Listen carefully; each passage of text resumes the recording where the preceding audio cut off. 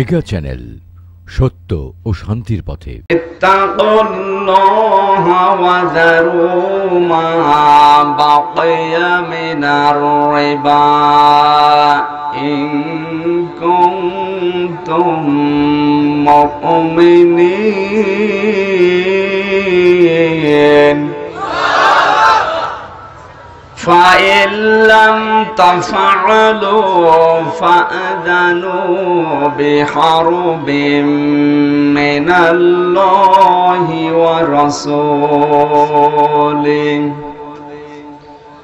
وإن تبتم فلكم رؤوس أموالكم.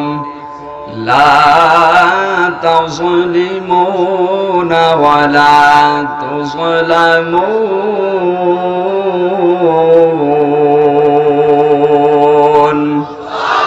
صدقت يا ربنا.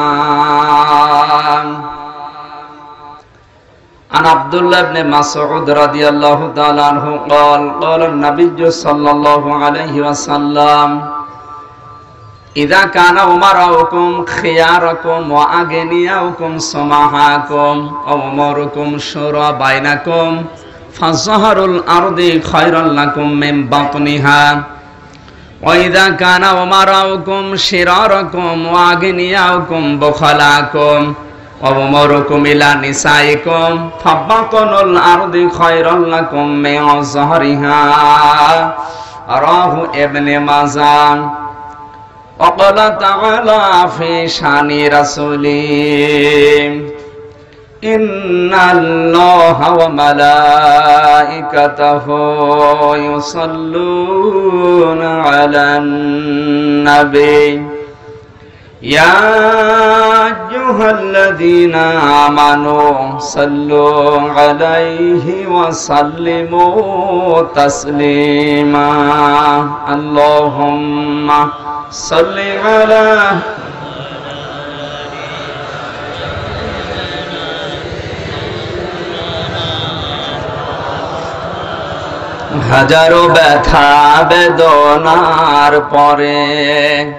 ফিরে আসনি তুমি আপন ঘরে। দিনের আলো তুমি ছড়িয়ে দিতে। চলে গেলে মদিনাই মক্কা ছেড়ে এহরাসুল তোমাকে ভুলি আমি কেমন করে? হেরাসুল তোমাকে ভুলি আমি কেমন করে? খেয়ে না খেয়ে দিন প্রচারের কাজে নিজেকে দিয়ে সবিলিয়ে তাই ফের কাফেরেরা চিনল নাই আলো, দুষ্ট ছেলেদের পিছু দিল লেলিয়ে। পাথরের আঘাতে ক্ষত বিক্ষত হয়ে সারা শরীর থেকে রক্ত ঝরে। হেরসুল তোমাকে ভুলি আমি কেমন করে? হেরার গোহাই তোমারই ধ্যান আসমান থেকে নামে আল কোরআন। ভাঙল সবার ভুল তোমারই পরে, আসল কোরআনের ছায়া তলে। খালিদ মরালে আবু বকর, ইসলামী ঝান্ডা নিল যে তুলে। আল আমিন তুমি ছিলে চিরদিন সকল মানুষের তমরে হেরসুল তোমাকে ভুলি আমি কেমন করে? হাজারো ব্যথা বেদনার পরে ফিরে আসনি তুমি আপন ঘরে। দিনের আলো তুমি ছড়িয়ে দিতে। চলে গেলে মদিনাই মক্কা ছেড়ে হেরাসুল তোমাকে ভুলি আমি কেমন করে? আলহামদুলিল্লাহ। বাংলাদেশের ঐতিহ্যবাহী জেলা কুমিল্লা, ব্রাহ্মণপাড়া থানার অন্তর্গত ধান্যদল আলোর পথ যুব সংঘের উদ্যোগে তাফসিরুল কোরআন মাহফিলের স্বনামধন্য সভাপতি। হাজারো ছাত্রের ওস্তাদ বয়সের একটা দ্বার প্রান্তে এসে পৌঁছিয়েছে হাজিউল হারামাইন জানাব আলহাজ ফরিদ উদ্দিন আহমেদ আতালাল্লাহু উমরাহু বারাকাল্লাহু ফি হায়াতি। মাহফিলের প্রধান অতিথি, মাননীয় জাতীয় সংসদ সদস্য, সাবেক আইন ও সংসদ বিষয়ক মন্ত্রী, কুমিল্লার কৃতি সন্তান জনাব অ্যাডভোকেট আব্দুল মতিন খসরু। লোকটাকে দেখি নাই নাম শুনেছি। মানুষে ভালো বলে। আল্লাহ রব্বুল আলমিন যেন তাকে কবুল করেন কোরআনের জন্য। বিশেষ অতিথি ব্রাহ্মণপাড়া কুমিল্লা উপজেলা পরিষদের সম্মানিত চেয়ারম্যান জনাব আলহাজ জাহাঙ্গীর খান চৌধুরী। নাম শুনেছি, দেখি নাই। মানুষে ভালো বলে। দামাত বারকাত আলিয়া। উপস্থিত আছেন এখানে বিশিষ্ট শিক্ষাবিদ।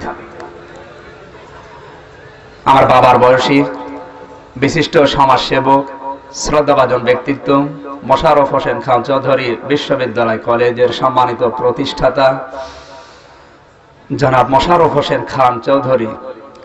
আতাল্লাহ উমরাহু ওয়া বারাকাল্লাহু ফি জোরে বলেন আমিন। আলোচনা রাখলেন, আপনারা কীভাবে চেনেন আমি জানি না। পীর সাহেব হিসাবে চেনেন না? আমি গাড়িতে আসার সময় কয়েকটা কথা আমার কানে গিয়েছে। আমি যে গজলটা বললাম এই গজলটা সার মর্ম উনি বলছিলেন। আপনি কোরআনে কারিমের কথাগুলো বন্ধ করতে পারবেন না।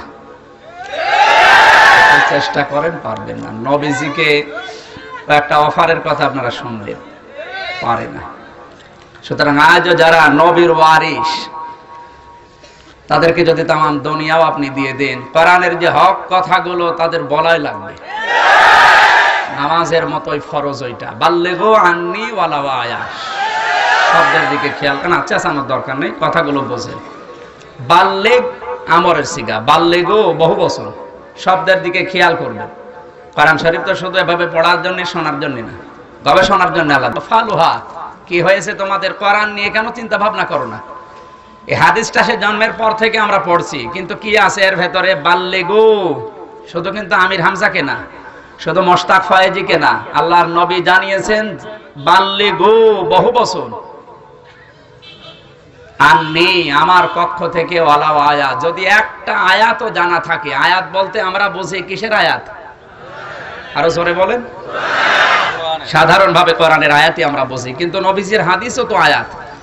সুতরাং বিশ্ব নবীর পক্ষ থেকে এসে কোরআন হোক আর হাদিস হোক, যদি একটা বাক্য আপনার জানা থাকে, আপনি যদি আলেম নাও হন আপনার দায়িত্ব হচ্ছে নামাজের মতোই ফরজ এটা মানুষের কাছে পৌঁছিয়ে দেওয়া। এই দায়িত্বটা নিষ্ঠুর ভাবে পালন করতে গিয়ে কিছু মানুষের রোশানলে পড়া লাগে। ওরা নবীজের বিরুদ্ধে যেমন লেগেছিল না বুঝে আজ আলেমদের বিরুদ্ধে কিছু মানুষ না বুঝায় আজেবাজে মন্তব্য করে। তাফসির শব্দটা আপনি লিখে দিয়েছেন এখানে। তাফসির মানে কি? তাফসির মানে এই যে ঢাকনা দিয়ে ঢাকা আছে, এই যে চা দিল দেখলাম। সার এই কাঠটা ঢাকনা দিয়ে ঢাকা ছিল। ঢাকনাটা তুলে ফেললে ওর ভেতরে কি আছে? দেখা যাবে না যাবে না। কোন জিনিস উন্মুক্ত করে দেখা, খলসা করা, ওপেন করা। তাফসির মাহফিলে পৃথিবীতে বাধা আমি দেখেছি। আমি অনেকগুলো রাষ্ট্র ধরলাম এবার। আমি যা দেখেছি, এসালে সাওয়াবে বাধা হয় না। অরস শরীফে তো বাধা নেই, আরও গরু যায়। মেলাদ মাহফিলেও বাধা নেই, ওয়াজ মাহফিলেও বাধা নেই। যত রকমের অনুষ্ঠান এই দেশে সহ পৃথিবীর জয়ে যতগুলো দেশে দেখলাম, কোনো বাধা আমি পাইনি। একটা বাধা পেয়েছি তাফসির মাহফিলে। এটা হওয়ার কারণটা কি? আমার এই ছোট্ট মেধা এটা এসেছে। আমি কয়েকদিন আগে তামিলনাড়ু ছিলাম। ওখানে কয়েকটা অনুষ্ঠান ছিল। বাধা, শুধু তাফসির লেখা দেখলে বাধা। আপনি ওয়াজ করেন, কোনো অসুবিধা নেই। চিন্তা করলাম এটা বাধা দেয় কেন? আমি এই যে আমার চাচা মনে করেন বসে আছে। বাড়িতে যে সালাম দিলাম যে মোশাররফ সাহেব আছেন। বাড়ির ভেতর থেকে একটা বাচ্চা বেরিয়ে বলছেন, আমার আব্বা বাড়ি নেই, ঢাকায় গেছে, তিন দিন পরে আসবে। আপনি এখন চলে যান। এত মোলায়েম গলায় সালামের উত্তর দিয়েছে আর আঙ্কেল বলে আমারে ডাক দিয়েছে। ওটা ছেলে না মেয়ে বোঝা যাচ্ছে না। এখন ওটা ছেলে না মেয়ে, আম্মু না আব্বু? নাম ধরে যদি জিজ্ঞাসা করে, নাম কি? এমন নাম বলবে, শেষে আবার ছেলে মেয়ে চেনা দোষকার হয়ে যাবে। যদি বলে, আমার নাম মাহি মাহিয়া মাহি মহিলা, আবার মাহি বি চৌধুরী পুরুষ মানুষ। আপনি কি বুঝবেন? এরকম ডিজিটাল কিছু নাম আছে যেগুলো পুরুষের নাম ও মহিলার নাম। সুতরাং নাম বললে তো আমি বুঝব না। এখন ওটা আম্মু না আব্বু চেনার জন্য একটা উপায় আছে। ওর পায়জামা প্যান্ট খুলে ফেলা লাগবে। না, আমি হাসির খোরাকি দেইনি, এটা শিক্ষা আছে। পায়জামা প্যান্ট যদি খুলে ফেলা হয়, ওটা আম্মু না আব্বু বোঝা যাবে না যাবে না। আজ এই বিশ্বে শিরিক, বেদাত, কুফর, জুলুম, এগুলো দিয়ে নিজের পরিবার, সমাজ, রাষ্ট্র এবং শরীরকে যারা আবরণ দিয়ে রেখেছে, কোরআনের তাফসির যদি সঠিকভাবে করা হয়, ওগুলো আবরণ খুলে যাবে। জাতি দেখতে পারবে যে এটা জাতির সর্বনাশ এই জন্য তাফসির মাহফিলে বাধা হয়। তাছাড়া ইসালে সওয়াব সারা রাত না, চোদ্দ রাত হবে, অসুবিধা নেই। আর তাফসির মাহফিলে একদিন থেকে হাফ দিন যদি পার হয়, সমস্যা। এই একটাই কারণ। কারণ যারা বেদাত করে, ওরা জানে যে তাফসির মাহফিলে যদি কোরআনের কথা সঠিকভাবে ওঠে, তাহলে আমরা যে আবরণ দিয়ে ঢেকে আছি, এ জাতি জেনে ফেললে আমাদের খবর আছে। যারা জুলুম করছে, ওরাও বোঝে যে এ যদি জেনে ফেলে, আমার খবর আছে। সুতরাং সভাপতির দুইটা কথা ছিল। এক নাম্বার কথা ছিল যে, রাজনৈতিক কোন কথা। রাজনৈতিক বলতে প্রচলিত যে রাজনীতি আছে, আমি ওগুলো বলি না।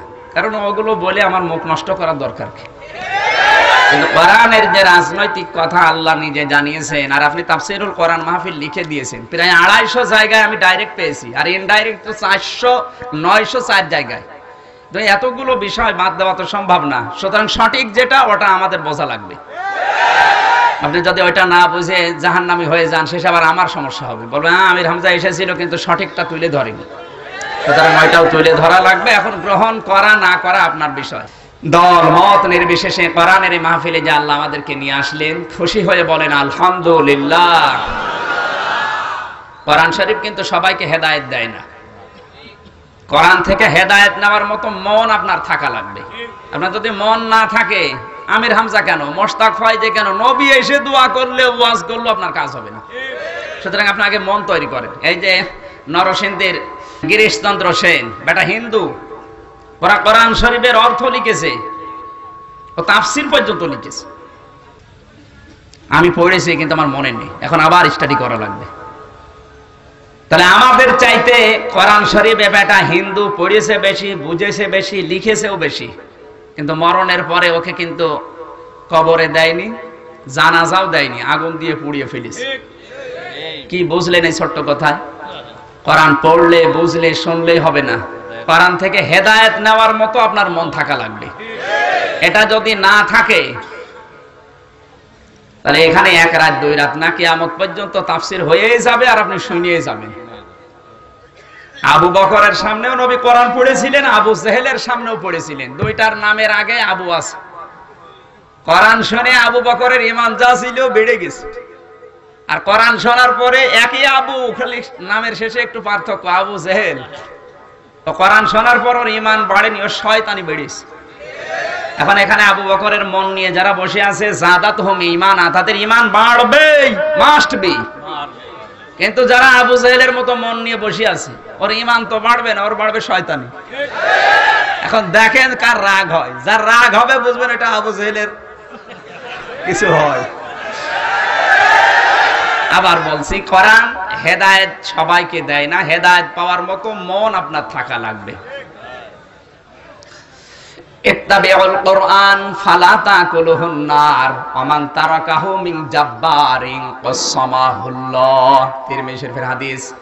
আল্লাহর নবী বলেন কোরআনকে যদি অনুসরণ করো, প্রথম নম্বরে পুরস্কার ফালা তাকুলুহুন নার, কোনদিন আল্লাহ তোমারে জাহান্নামের আগুনে দেবে না। দুই নম্বরে, কোরআনকে যদি কেউ পেছনে ফেলে রাখে, মর্যাদা না দেয়, কোরআনের যে সম্মান ওটা যদি না দেয় তাহলে সে যত ক্ষমতাধর লোক হোক, আল্লাহ তাকে খান খান করে বিদায় করে দেবে। কোরআনের নির্দেশ মানার, না মানার কারণে বাংলাদেশের উদাহরণ বলছি, যশোরের সাবেক এমপি তিনবারের মন্ত্রী ছিলেন। আপনারা নাম হয়তো জানেন, তরিকুল ইসলাম। বিএনপির সাবেক মন্ত্রী একবার, দুইবার না তিনবার। আমাদের খুলনা বিভাগের সিংহ পুরুষ ছিলেন। তার একটা আঙ্গলের হেলানিতে কত মানুষ যে দুনিয়া থেকে বিদায় নিয়েছে, আল্লাহ ভালো জানে। এ লোকটা এখন বিছানায় পড়ে আছে, দুইজনের কাঁধে হাত না দিয়ে উঠতে পারে না। এটা তো দুনিয়া গেল। আখেরাতে কি আচরণ আল্লাহ করবে ওটা উনি জানে। আমার আমরাদান জিকিরি, ফাইন্না লাহু মাগাইশাতান দঙ্কা ওয়া নাহশুরুহু ইয়াউমাল কিয়ামাতি আমা যারা আমার কোরআন থেকে মুখ ফিরিয়ে দুনিয়ার জীবন চালাবে, আমি আল্লাহ তাদের জীবনটা সংকীর্ণ করে দেব। ও চর্ম চোখে দেখবে বিশাল উন্নতি হচ্ছে। অনেক দিন আছে ক্ষমতায়। টাকা পয়সা ভালোই আসতেছে। কিন্তু ওর জীবনের যে আয় উন্নতি, কোনো বরকত থাকবে না। দশ দিক থেকে আসবে, বিশ দিক থেকে চলে যাবে। আমি এই তামিলনাড়ুতে ছিলাম, ভ্যালোরে। একটা লোককে জিজ্ঞাসা করলাম, ভাই, আপনি কতদিন আছেন? সিলেটে বাড়ি। বলছে, তেরো মাস আছি আমি। আমার পায়ের নিচে ছোট্ট একটা ফুসকুড়ি হয়েছিল। ডাক্তারকে দেখালাম, ঢাকাতে বলছে, অসুবিধা নেই। এক বছর পরে দেখি, না, ভালো হয় না। এখানে আসলাম, এ তামিলনাড়ু ভ্যালোরে, সিএমসি হাসপাতালে। তেরো মাস হয়ে গেল, এক কোটি একত্রিশ লাখ টাকা আমার অলরেডি চলে গেছে। এখন ডাক্তাররা বলছে, আপনার ক্যান্সার ধরা পড়েছে, আপনার বাঁচবেন না। আপনি তো মস্তানি করেন, আপনার তো কিছুই নেই। আপনার শুধু রক্তের ভেতরে পাঁচ প্রকার ক্যান্সার হয়। যদি একটা লাগিয়ে দেয়, চোদ্দ বংশ বিক্রি করলেও আপনি ঔষধে ঔষধের পয়সা খুঁজে পাবেন না। আর আপনি মস্তানি করেন। কোরআনের বিধান বাদ দিয়ে যাদের টাকা পয়সা আজ উপায় হচ্ছে, আমরা দেখতেছি। একটা ভালো মানুষের নামে হামলা, মামলা দিয়ে আপনি তাকে ধরিয়ে পাঁচ লক্ষ টাকা পেলেন। ওই টাকা কিন্তু থাকবে না। আমি এটা কোরআন সামনে নিয়ে বলছি, ওই টাকা থাকবে না। আপনি বাড়ি নিয়ে যেয়ে দেখবেন আপনার স্ত্রী হয়তো ভুল বকছে। আপনার মেয়ে হয়তো বাবা খাচ্ছে। আপনার ছেলে ডাইল খাচ্ছে। মানে এমন অশান্তি আল্লাহ ধরিয়ে দেবে যেটা আপনি কল্পনাও করতে পারেন নাই। এতটুকু হলেও তো হইতো না। সোরান আনআম তিরিশ, একত্রিশ নাম্বার আয়তে আল্লাহ আরও কঠিন কথা জানিয়েছেন। হাত্তা ইদা জাআত আল্লাহ তাআলা বলেন, কদ খাসিরাল্লাযীনা কাযযাবু বিলিকাইল্লাহ হাত্তা ইযা জাআতুহুমুস সাআতু বাগতাতান ক্বালু ইয়া হাসরাতানা আলা মা ফাররাতনা ফিহা। এদিকে তাকান। কদ খাসিরা মাঝির সিগা এটা আল্লাহ তাআলা বলেন, ক্ষতিগ্রস্ত হয়েই গেছে।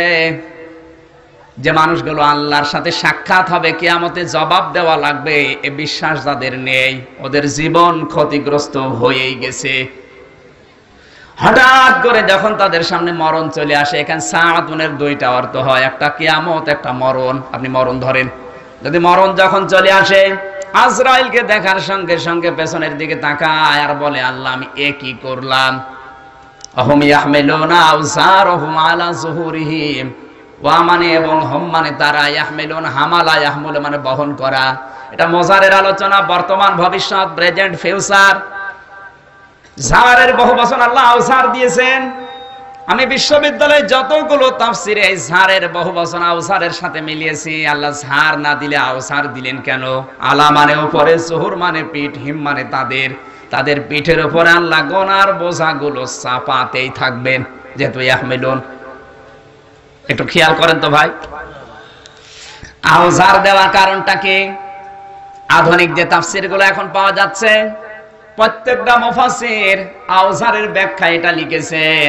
আপনি পঞ্চাশ বছর হায়াত পেয়েছিলেন, মনে করেন পঞ্চাশ মন গোনা করেছেন। মারা যাওয়ার পরে আপনার পিঠের উপরে যদি পঞ্চাশ মন গোনা চাপিয়ে দেয়, তাহলে তো আপনার বিচার হয়ে যাওয়ার কথা, নাকি? নাকি? আপনি পঞ্চাশ বছরে পঞ্চাশ মন গোনা করার পরে যদি এখন কিয়ামতে বিচারালয় আপনার পিঠের উপরে যদি পাঁচশো মন গোনা চাপিয়ে দেয়, তাহলে আল্লাহ তো অবিচারক। না মানে?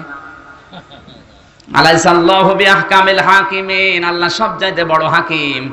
তিনি অবিচার করেন না, তাহলে আপনার পিঠের পঞ্চাশ মনের জায়গায় পাঁচশো মন দিলে অবিচার হবে না কেন?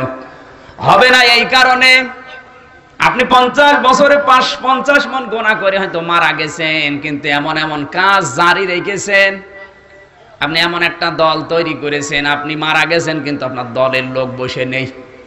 ওরা দুর্নীতি করতে আছে ওরা সুদ ঘুষ খেতে আছে আপনি কিন্তু মারা গেছেন বিশ বছর আগে, কিন্তু আপনার যে বানানো দলের লোক বসে নেই। আপনি যে প্রশাসন বানিয়েছিলেন, এই প্রশাসনের লোক কিন্তু আপনি মারা যাওয়ার পরও বসে নেই।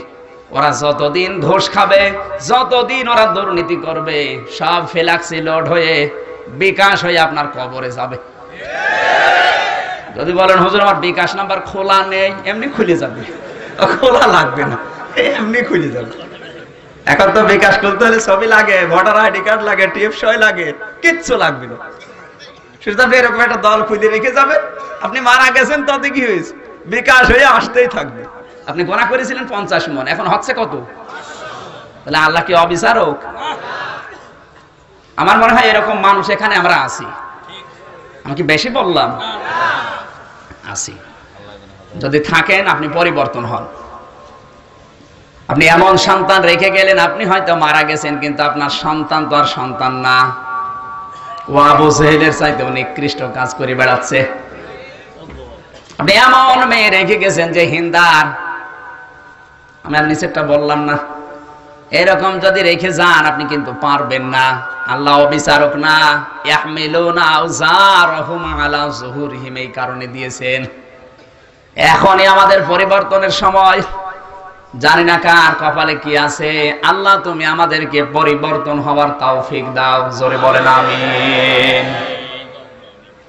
ইত্তাবিউল কুরআনা ফালা নবীজি বলেন, যারা কোরআনকে অনুসরণ করা বাদ দিয়ে অন্য কিছু অনুসরণ করবে, আমার আল্লাহ আদাল্লাহুল্লাহ নিজে দায়িত্ব নিয়ে তাকে গোমরা বানিয়ে দেবে।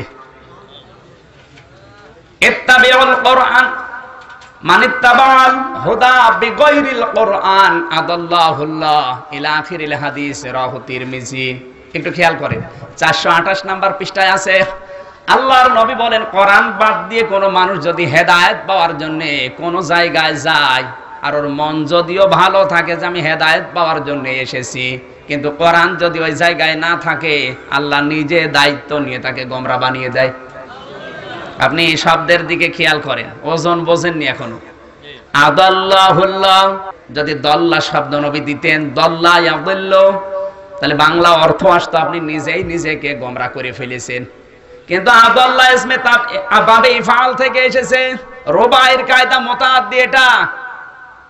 ইফাল থেকে যখন শব্দ আসে, তখন আব্দুল্লাহ শব্দের বাংলা অর্থ দাঁড়ায়।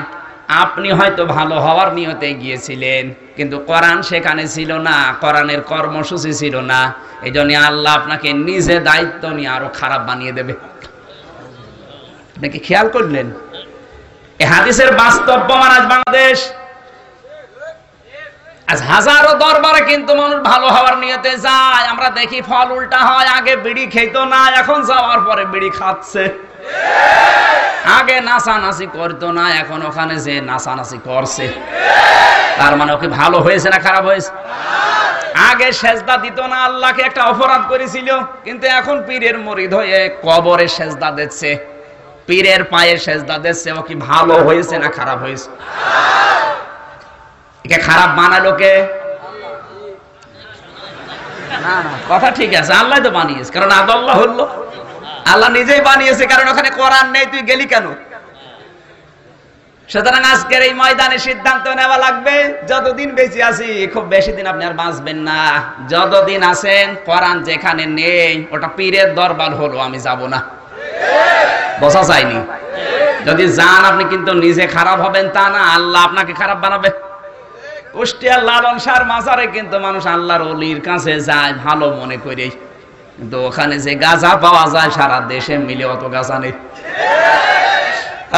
টান একদিন যে দেখি রাত নয়টার সময় দুধ খাওয়াচ্ছে, কি গো? এরে দুধ খাওয়ান বলছো হুজুর এর ভেতরে জিনিসপত্র আছে? জিনিসে তো সব উলঙ্গ। উলঙ্গ তাতে কি হয়েছে? এর ভেতরে যা জিনিস আছে, আপনি তো দেখতে পাবেন না। দুধ খাওয়াচ্ছে ন্যাংটা মানুষকে। ওরা জানে যে এর ভেতরে মনে হয় জিনিস আছে। আচ্ছা আগলা বাবা, পাগলা বাবা, গাজা বাবা, খাজা বাবা, নাম আমি আর বললাম না বাকিগুলোর। কত বাবার নাম দিয়ে চলছে, কারণ কোরআন নেই। কি নেই? যদি কোরআন থাকতো, মানুষ ওখানে যদি হেদায়েত পাওয়ার জন্য যেত, না, কোরআন শরীফ নেই, ওটা আমি মানি না। আপনি পীরের কাছে যাবেন, আমি নিষেধ করছি না, পীর মানে শিক্ষক, পীর মানে ওস্তাদ, পীর মানে মোয়াল্লিম। আমার বন্ধুরা, সিদ্ধান্ত যখন নিয়ে ফেলেছেন যে কোরআন যেখানে নেই সেখানে যাব না, আমার মনে হয় এই কথাটা যদি বাস্তব জীবনে এখন মিলাতে পারি, আগামের বাংলাদেশ কোরআন ছাড়া আর কিচ্ছু চলবে না। আপনি কথা ঠিক করে বলেছেন তো? সাহাবা একরাম আল্লাহর দরবারে কবুল হওয়ার পেছনে কারণ ছিল, আমি পড়েছি হাদিসে সাতটা। তার এক নম্বরে ওনাদের মুখে যেটা ছিল, ওনাদের মনে ওইটা ছিল। মানে মুখে এক কথা, মনে আর এক জিনিস, এইটা না। সাহাবিরা আল্লাহর দরবারে কবুল হওয়ার এক নাম্বার কারণ হচ্ছে, মুখে যা বলতো, ওনাদের মনে ওইটা আরও আসতে বলেন কিন্তু আমরা আজ মুখে যেটা বললাম, এটা মনে কিন্তু অনেকের নেই। আমি হজে যাওয়ার পরে দেখলাম একটা লোক কাবার গিলাপ ধরে কাঁদতেছে। হাই রে, কান্নাকাটি। আল্লাহ, আমি আর বাংলাদেশে যাব না, তুমি আমার মরণ দাও। আমি এই দেশেই থাকব, তোমার ঘর এই দেশে। বাড়ি কোথায়? নোয়াখালী। হোটেলে গেলাম, একসাথেই ছিলাম। দেখি ঝড় উঠেছে। ডাক দিয়ে বললাম, দাদা, আপনি আর বাঁচবেন না। কেন? দোয়া করে আসলেন কাবার গিলাপ ধরে আর যে ঝড় উঠেছে, আপনি মরবেন। আমারে বলছে, আমির হামজা দোয়া তো আমি এ বছরের জন্য করিনি। সিটার। ওর মুখে যেটা ছিল, মনে ওটা ছিল? ওর দোয়া কবল হবে কি করে যে এ বছরের জন্য তো দোয়া করিনি, ঝড় উঠল কোন কারণে? এরকম সিটার বাট পরে দোয়া আল্লাহ কবুল করে। অথচ কামার গলা ধরে কি কান্না কাঁদছিল, মনে হচ্ছে এখনই মারা যাবে। এসে উল্টিয়ে গেছে। আপনি হাত তুললেন, এখানে আমি জানি কোরআনের মাহফিলে আসলে মানুষের ইমান বেড়ে যায়। হাত তুলতে পারবেন, ঠ্যাং তুলে ফেলে। এখান থেকে বের হয়ে গেলে আগে যাচ্ছিল তাই। আপনার আচরণ কি এরকম হবে?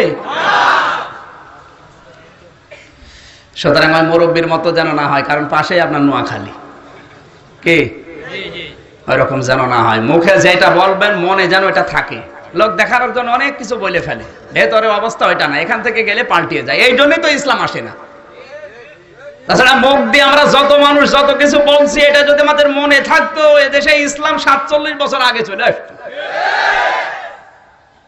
সাহাবা কবুল হওয়ার পেছনে এক নাম্বার কারণে ছিল এইটা, ওনারা মুখে যা বলতো, মনে ওইটাই ছিল। সাহাবিদের জীবনে শুনে অনেকে কান্নাকাটি করে। আরে ভাই, আপনি কাঁদবেন কোন কারণে? আপনি হাসবেন কোন কারণে? মিল থাকা লাগবে তো। এই যে টিকিট কাটে এলাকায়, নাকি টিকিট নেই? লটারি নেই, লটারি?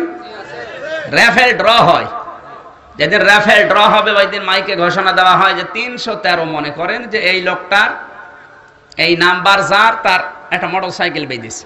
এখন এনার যদি তিনশো তেরো হয়, উনি হাসবে না কাঁদবে? ওনারা কি কাটো কুতো দেওয়া লাগবে? এমনি হাসবে, কারণ মোটর সাইকেল বেঁধেছে।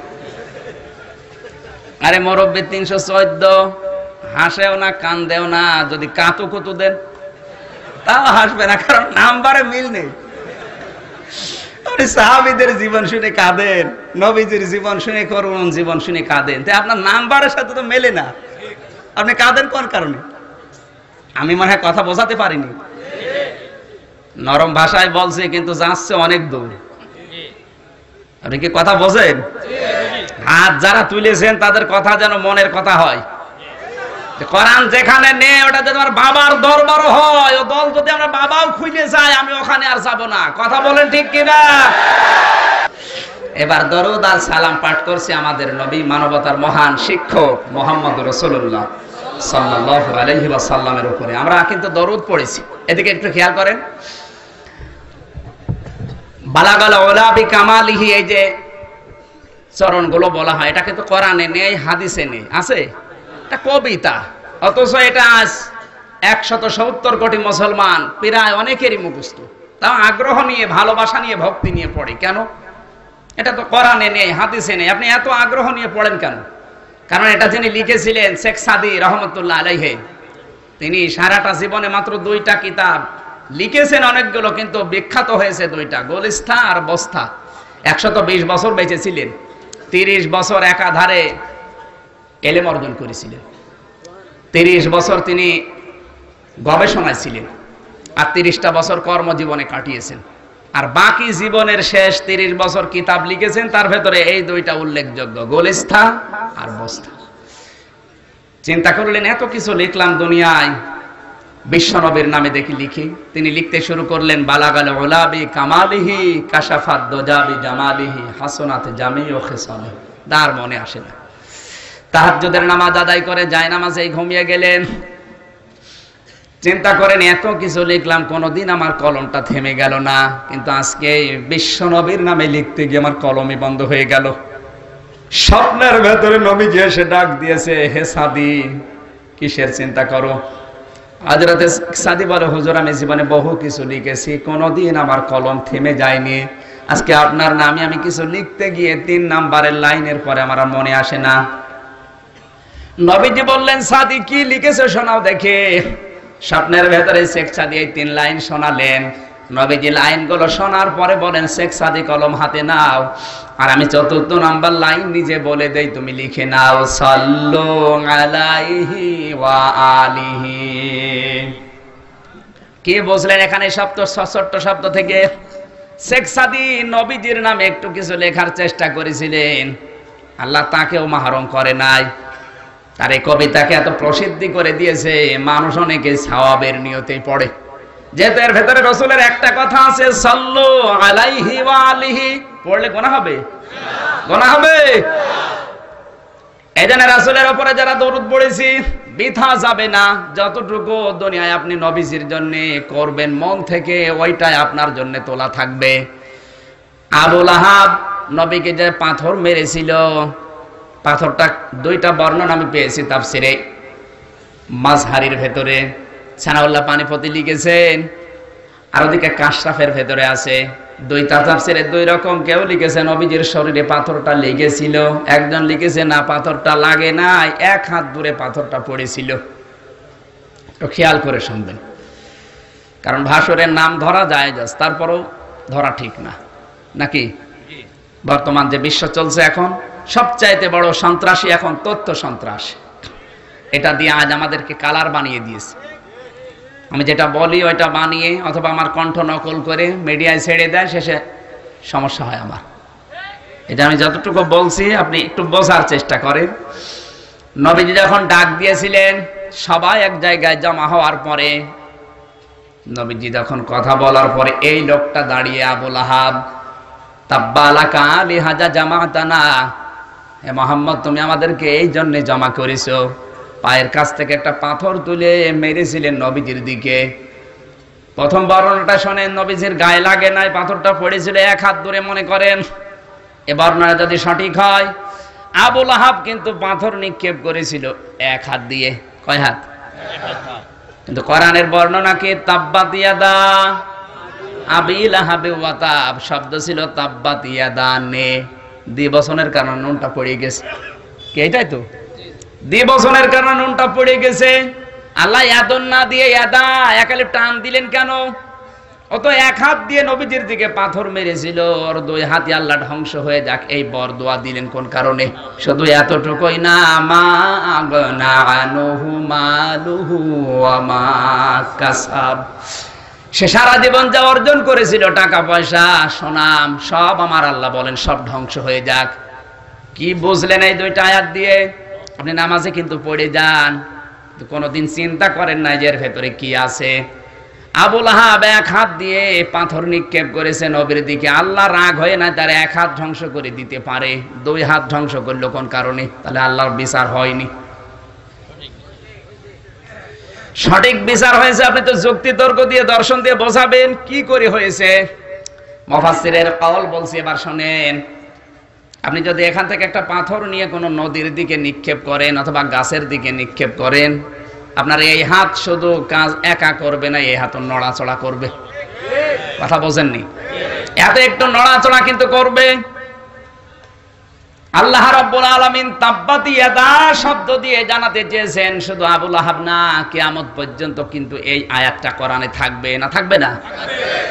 কিয়ামত পর্যন্ত দুনিয়াতে যারা আসবে, রাসূলের কেউ ডাইরেক্ট আবু জেহেলের ডান হাতে আবুল আহাবের ডান হাতের মতো রাসূলের ডাইরেক্ট পেছনে লাগবে, আর বাম হাত একটু নড়াচড়া করে অনেকেই ঠেলা দেবে।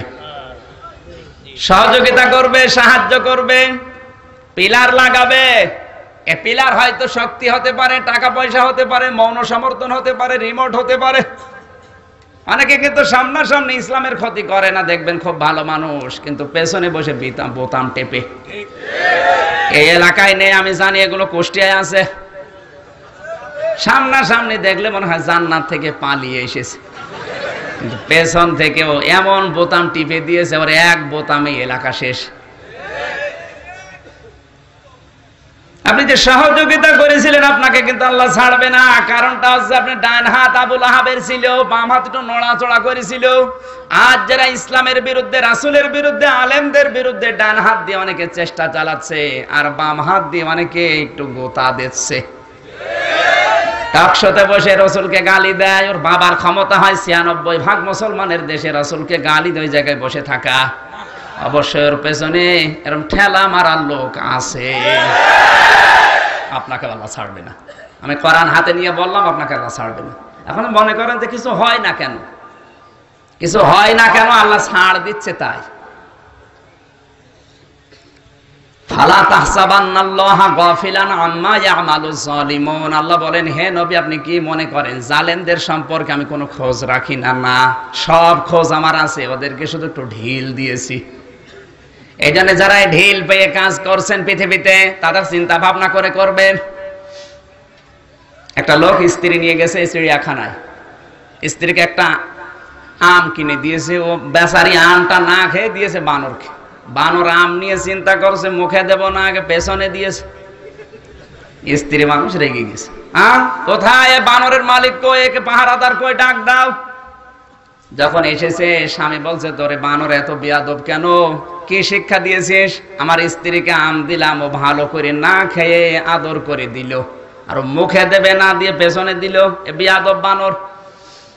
লোকটা বলছে, আপনারা চিল্লাবেন না, বিষয় তো বোঝেন না। কিছুদিন আগে আপনাদের মতো দুইজন এসেছিল। আমার বানরকে একটা ঠিক এরকম আম দিয়েছে, বানর আনন্দে আম পেয়ে একবারে মুখে দিয়েছে, ভেতরে চলে গেছে, কিন্তু আর বের হয় না। এত চেষ্টা করেও বানরের আম বের হয় না। শেষ পর্যন্ত মরিয়ে যাবে। ডাক্তারের কাছে নিয়ে পেছনে চিরে তারপরে আম বের করে সেলাই করা হয়েছে। এখন ওই ঘাস শুকায়নি। ওই দিনের পর থেকে যে কেউ কিছু দেয়, আগে বানর মুখে দেওয়ার আগে পেছনে দিয়ে দেখে বের হবে কিনা। আমি হাসির খোরাকি দেইনি। আপনি আজ ইসলামের বিরুদ্ধে আবুল আহাবের মতো হয়তো কাজ করছেন না, ডান হাত দিয়ে বাম হাতের নড়াচড়া আছে, আমি জানি। নাই তো ছিয়ানব্বই ভাগ মুসলমানের দেশে তাফসির মাহফিল বন্ধ করে কোন বাবার বেটা? আবুল আহাবের এই বাম হাতের মতো আপনার নড়াচড়া হচ্ছে। আন্দাজ করে আটি গেলা দরকার। বানরের মতো গিলিয়ে আর বের হচ্ছে না। শেষে আবার চিরে বের করা লাগবে। রাসেলের উপরে শুধু দরুদ পড়ে শেষ করে দিলাম। এই যে আমি প্রথমে দরুদ পড়লাম, এই দরুদের একটা মানে আছে, না নেই? আমি যে কোনো কথা বলি, ওই ছোট্ট কথা থেকে একটা শিক্ষা নিয়ে আসি। আমরা সবাই মিলে এখানে বললাম আল্লাহ হুম্মা সল্লি আলা হে আল্লাহ, তুমি রহমত নাজিল করে। এখানে সল্লুনের চারটা অর্থ হয়। আপনি একটা অর্থ ধরেন, সল্লত মানে রহমত নাজিল করা। তুমি রহমত নাজিল করো কার উপরে? আলা মোহাম্মদ। মোহাম্মদের উপরে। এ কথা বলা হয় না হয় না? এখন আল্লাহ যদি প্রশ্ন করে, ও মোশাররফ তুমি যে সল্লি আলা মোহাম্মদ বললে, মোহাম্মদটা কে? উনি সহ আমরা যারা আছি, সবাই মিলে বলেছি, মোহাম্মদ সাজ্জিদিনা, আমাদের নেতা। শুধু আমার নেতা তা না, আমাদের সবার। এক কথা বলে না কেন? উনি তো ওই কথাই বলছিলেন, এখন আমরা সবাই রসুলের উম্মত। তাহলে সবাই বললাম এক বাক্যে দরুদ পড়ার সময় সাজ্জিদিনা তুমি আমাদের নেতা। হে আল্লাহ তুমি যার উপরে রহমত নাজিল করবা উনি সাধারণ মানুষ না উনি আমাদের নেতা। উনি কি?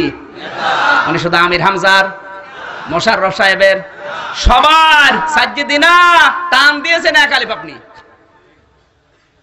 এখন নেতার কথা প্রথমে আসলে এ কথা কেন বললেন আপনি? তো রাজনৈতিক কথা। কেন বললেন? কারণ এই কারণ মরণের পরে কোন মানুষকে আল্লাহ কিন্তু বিচার করার জন্য একা ডাকবে না। প্রত্যেকটি মানুষকে আল্লাহ ডাকবে তার নেতার সাথে।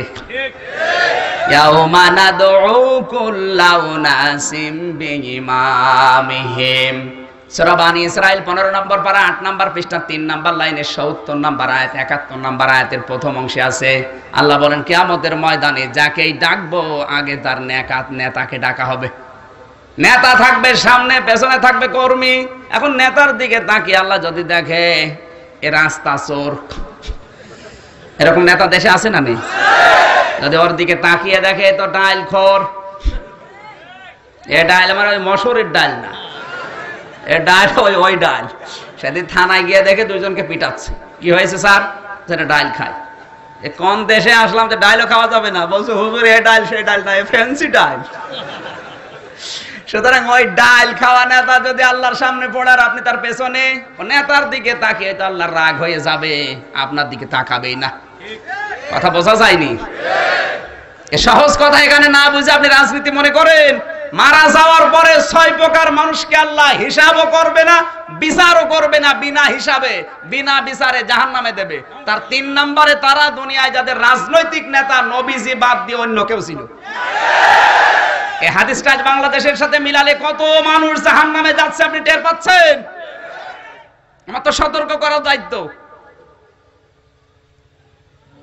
বিনা হিসাবে, বিনা বিচারে জাহান নামে দেবে। যাদের রাজনৈতিক নেতা, নবীজি বাদ দিয়ে অন্য কেউ ছিল। একটু মিলান তো আপনি। আপনি যাচ্ছেন কোথায়? এখন অনেকে খুশি যে বিনা হিসাবে, বিনা বিচারে যদি দেয় দেয় দিক। দেখছে কোথায়?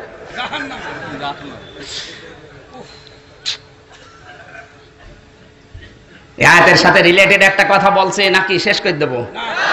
গুরুত্বপূর্ণ একটা জিনিস আপনার মেধার ভেতরে যেন যায়। সরাই আরাফ, আট নাম্বার পারা, বিশ নাম্বার পৃষ্ঠা, তিন নাম্বার লাইনে তিরাশি নাম্বার আয়তে আছে, আমি বিশ্ববিদ্যালয়ে এই আয়াতটার সাথে প্রায় বাইশটা তাফসির মিলিয়েছি। সব মুফাসসির এই আয়াতের সাথে একই কথা লিখেছেন।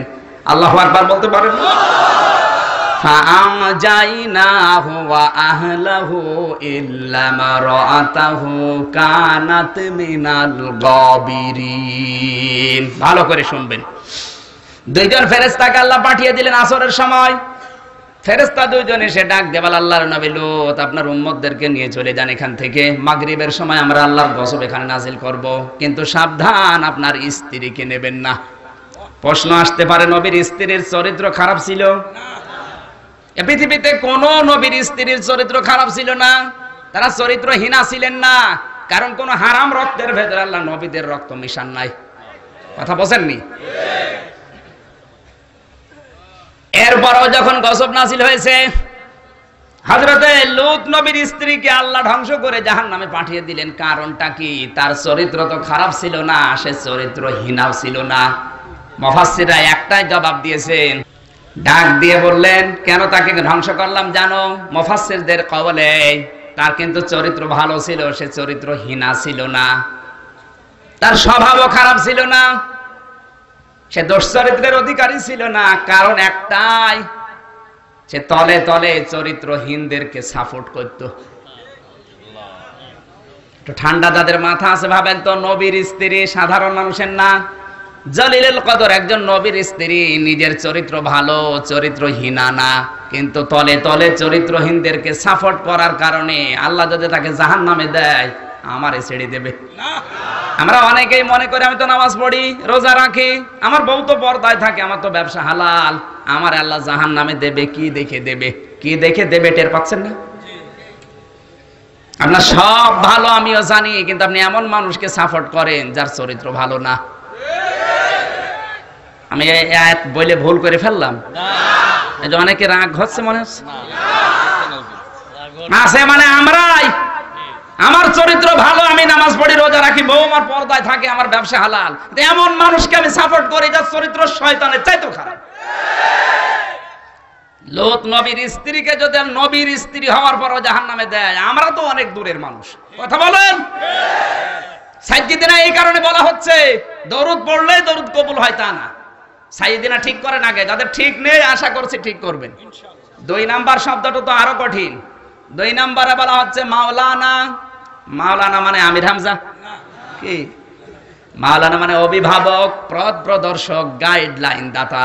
তার মানে আমাদেরকে ইসলামের পথ যিনি দেখিয়েছেন তিনি আমাদের মাওলানা তার মানে আমাদের নবী। নবীজি বাদ দিয়ে অন্যকে আমাদেরকে ইসলামের রাস্তা দেখিয়েছে।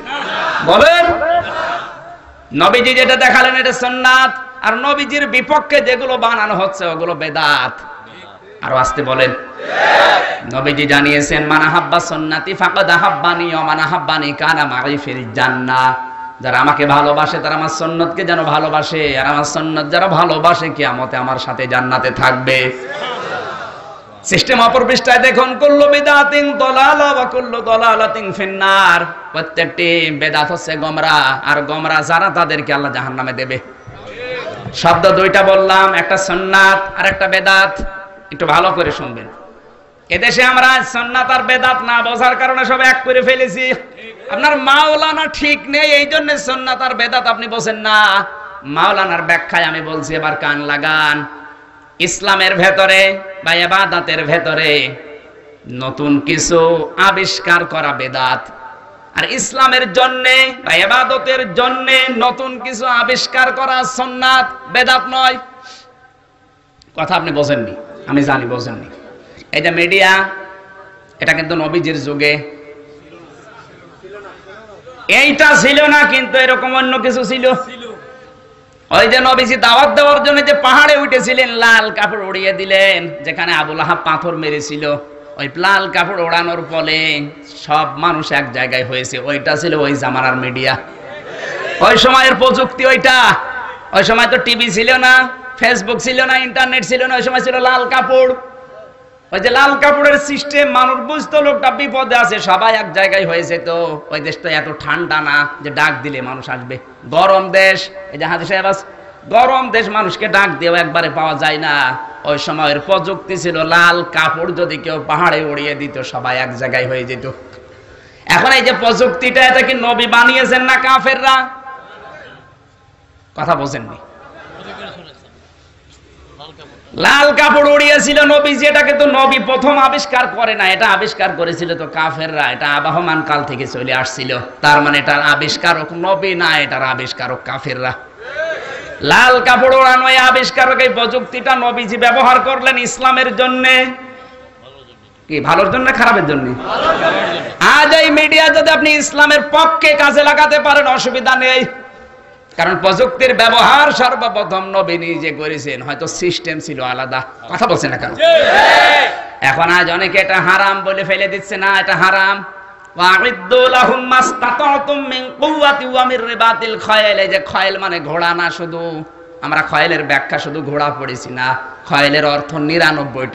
খয়েল মানে ফেসবুক খয়েল মানে ইন্টারনেট খয়েল মানে কম্পিউটার খয়েল মানে প্রযুক্তি, খয়েল মানে মিডিয়া খয়েল মানে মাইক খয়েল মানে টিউব ম্যাট খয়েল মানে ইউটিউব। আপনি যা ধরবেন প্রচার মাধ্যমগুলো, পত্রিকা খয়েল মানে ক্ষমতাও হবে। এ পৃথিবীর ময়দানে ইসলাম ধ্বংস করার জন্য কাফের মুশরিকরা যেটা ব্যবহার করে, হে নবী, আপনার উম্মতকে জানিয়ে দিন, তারা যেন ইসলাম উপরে তোলার জন্য ওইটা উল্টিয়ে ইসলামের পক্ষে কাজে লাগায়। আজ আমরা যদি এগুলো যদি ইসলামের পক্ষে কাজে লাগাতে পারতাম, অন্তত ভারতের এই সিরিয়ালগুলো দেশে বন্ধ হয়ে যেত। ভারতের এই সিরিয়ালগুলোর দ্বারা আমাদের পরিবারের সমাজে কি উন্নয়ন হচ্ছে না ধস নামছে? ধস, এই যে কয়েকদিন আগে মমতা ব্যানার্জি একটা অনুষ্ঠানে জানাচ্ছিল যে স্টার জলসার স্টার প্লাস দিয়ে পরিবারের কোনো উন্নতি নেই, শুধু কোর্ট নামও আছে। আমরা ভালো জিনিস অনেক আছে। ভালো জিনিস করুন না, সামাজিক স্টোরি বেশি করে করুন। একটা ঘরে তিনটে বউ দেখানোর দরকারটা কি?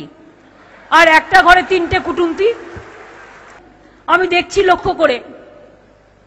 একটা ছেলে তার বাবা নেই, বাবার পরিচয় নেই। এই হচ্ছে একটা ফেনোমেনা। দুই হচ্ছে তিনটে চারটে বউ। তিন হচ্ছে তিনটে চারটে কুটুমতি মানে একেবারে কৈকেই মন্তুরাজ্য ফলে কি হচ্ছে?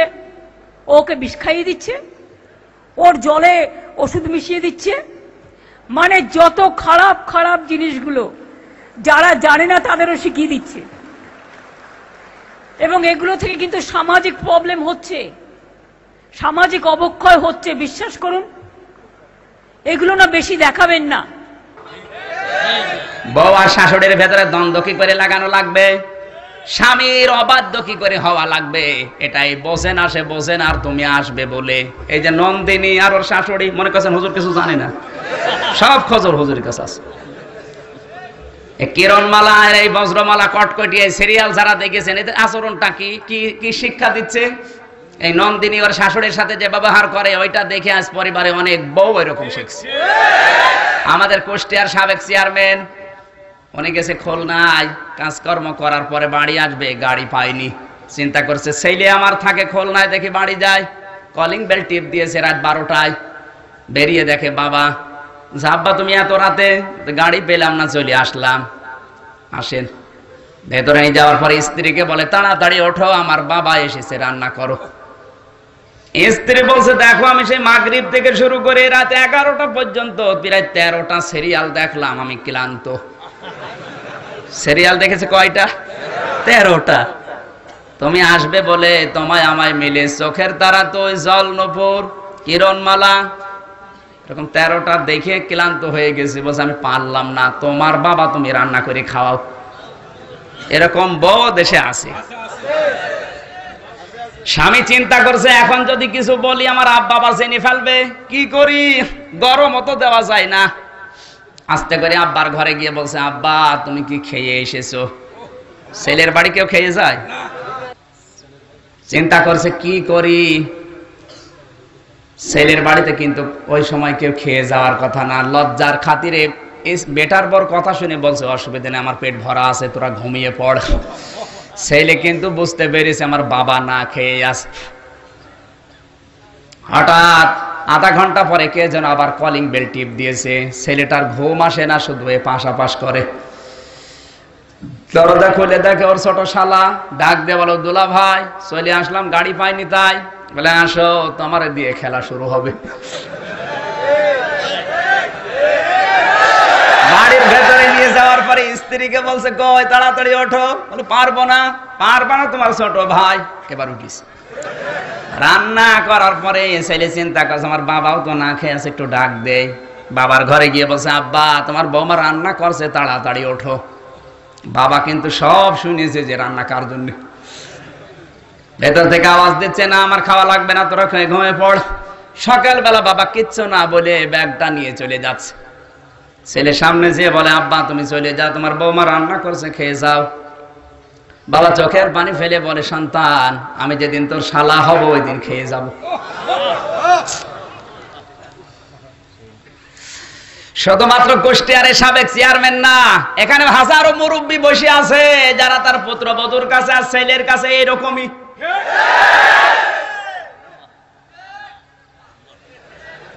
ওই যে যার ওয়াজ লেগেছে তার ঠিক জোরে বের হচ্ছে।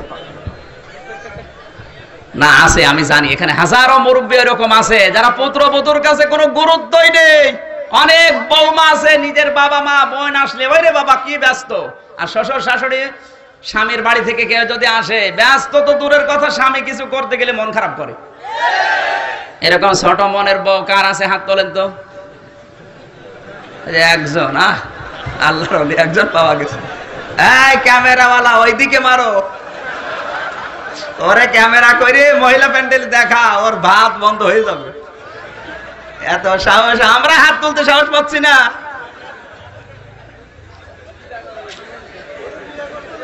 এই যে আচরণটা, আমি যতটুকু জানি বিশ্ববিদ্যালয়ে পড়ার কারণে, আমি জানি এই আচরণটা মেয়েরা পেয়েছে ভারতের স্টার জলসা স্টার প্লাস থেকে।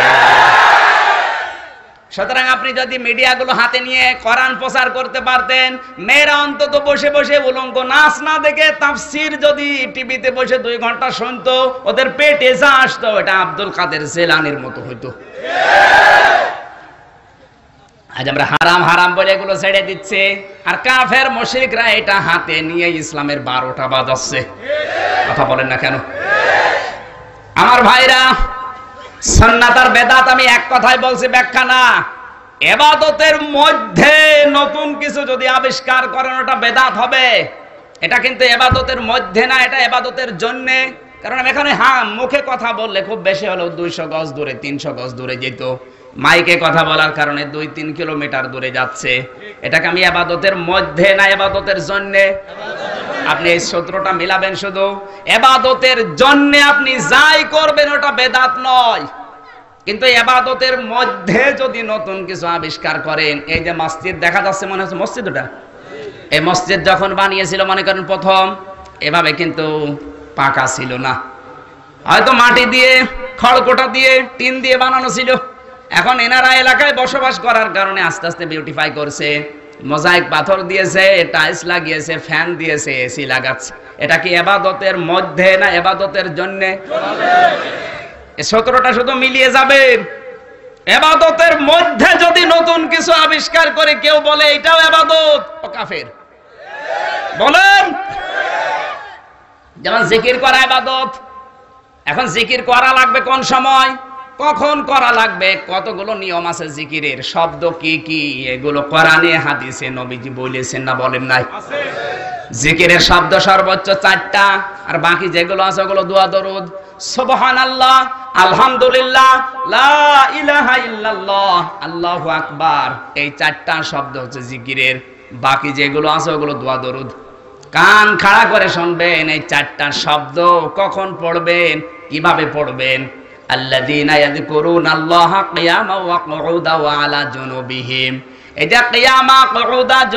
কি? এটা দাঁড়ানো, তার মানে নামাজে কেউ দাঁড়িয়ে আল্লাহর পড়ে, ওইটাও জিকির।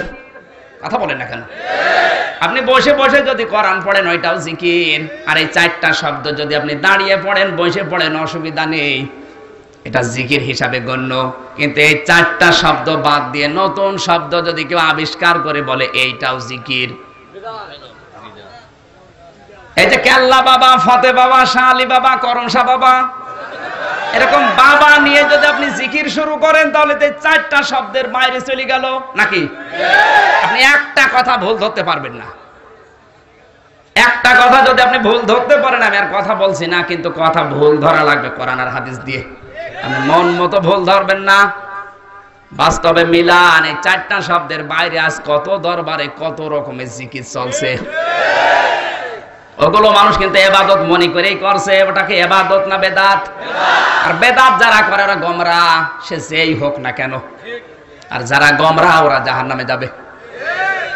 এত সহজ করে বোঝায়, তারপরও মানুষ না বোঝার ভান করে থাকে। আপনি সন্ন্যাত আর বেদাত যদি এখনও না বোঝেন, আমার মনে হয় আপনাকে আর বোঝানো সম্ভব না। এবাদতের মধ্যে নতুন কিছু দিলে এটা বেদাত, আর এবাদতের জন্য নতুন যা করবেন বেদাত নয়। কথা বোঝা গেছে? এরপরও যদি কেউ ভুল করেন, আপনার খবর আছে। নবীজিকে আল্লাহ জানিয়েছেন, বাল্লিগ মাউং সিলাই কামির রব্বিক হে নবী, আপনি তাবলিগ করেন। তাবলিগ করতে গেলে বিপদ আসবে, নবীজি জানেন। এই জন্য পরবর্তী শব্দেই দিয়েছেন ওয়াইল্লাম তাফাল ফামা বাল্লাগ তার রিসালাতা। আপনি যদি কোরআনের তাবলিগ না করেন, তাহলে রেসালাতের দায়িত্ব আপনি পালন করেননি। আল্লাহু নাস। হে নবী, আমি কিন্তু জানি, কোরআনের তাবলিগ করতে গেলে কাফের মুশরিকদের বিপক্ষে আপনাকে দাঁড়ানো লাগতে পারে। ওদের বিরুদ্ধে, ওদের পক্ষ থেকে আপনার বিরুদ্ধে ষড়যন্ত্র আসবে, আপনাকে মেরে ফেলার জন্য চিন্তা ভাবনা করবে, আমি জানি। বর্তমান ভবিষ্যৎ, প্রেজেন্ট, ফিউচার কা মানে হে নবী, আপনাকে আমি গ্যারান্টি দিচ্ছি। আপনি যদি কোরআনের তাবলিগ করতে যান, যত ষড়যন্ত্র আসুক, আমি আল্লাহ আপনাকে বাঁচাবো। কিন্তু এই তাবলিগটা অনেকে তালিম বানিয়ে ফেলেছে। আপনি অন্যদিকে নিয়ে যাবেন না। তাবলিগ আর তালিম এক জিনিস না। আমি এই যে এখন যেটা করছি মুসলমানদের কাছে কোরআন হাদিসের কথাগুলো বলছি, এটা তালিম। এটা কি? তালিম করতে গেলে কোনো সমস্যা নেই। আরও সবাই ভালোবাসবে, টাকা পয়সা দেবে, হাদিয়া তোফা দেবে, কিন্তু তাবলিগ করতে গিয়ে সমস্যা আসবে। এটা যে আসবে সূরা মায়েদার 67 নাম্বার আয়াতে আল্লাহ নিজেই জানিয়ে দিয়েছেন। হে নবী, আমি জানি যে আপনি তাবলিগ করতে গেলে সমস্যা আসবে। এজন্য আমি আল্লাহ নিজে আপনাকে বাঁচাবো গ্যারান্টি দিলাম। বিরাশি বার নবীকে আল্লাহ বাঁচিয়েছেন এহুদিদের চক্রান্ত থেকে। এই তাবলিগ করতে গিয়ে। কি করতে গিয়ে? আজ তাবলিগ জামাতের ভেতরে যে বিভক্তি চলছে, আমি যতটুকু বুঝি রাসূলের যে কোরআনের তাবলিক এইটা না হওয়ার কারণে। রাসূলের কোরআনের তাবলিগ যদি হতো রাসূলের ভেতরে, সাহাবীদের ভেতরে কোনো গন্ডগোল ছিল? কিন্তু তাবলিকের ভেতরে আজ গন্ডগোল কারণ কি? এই একটাই কারণ।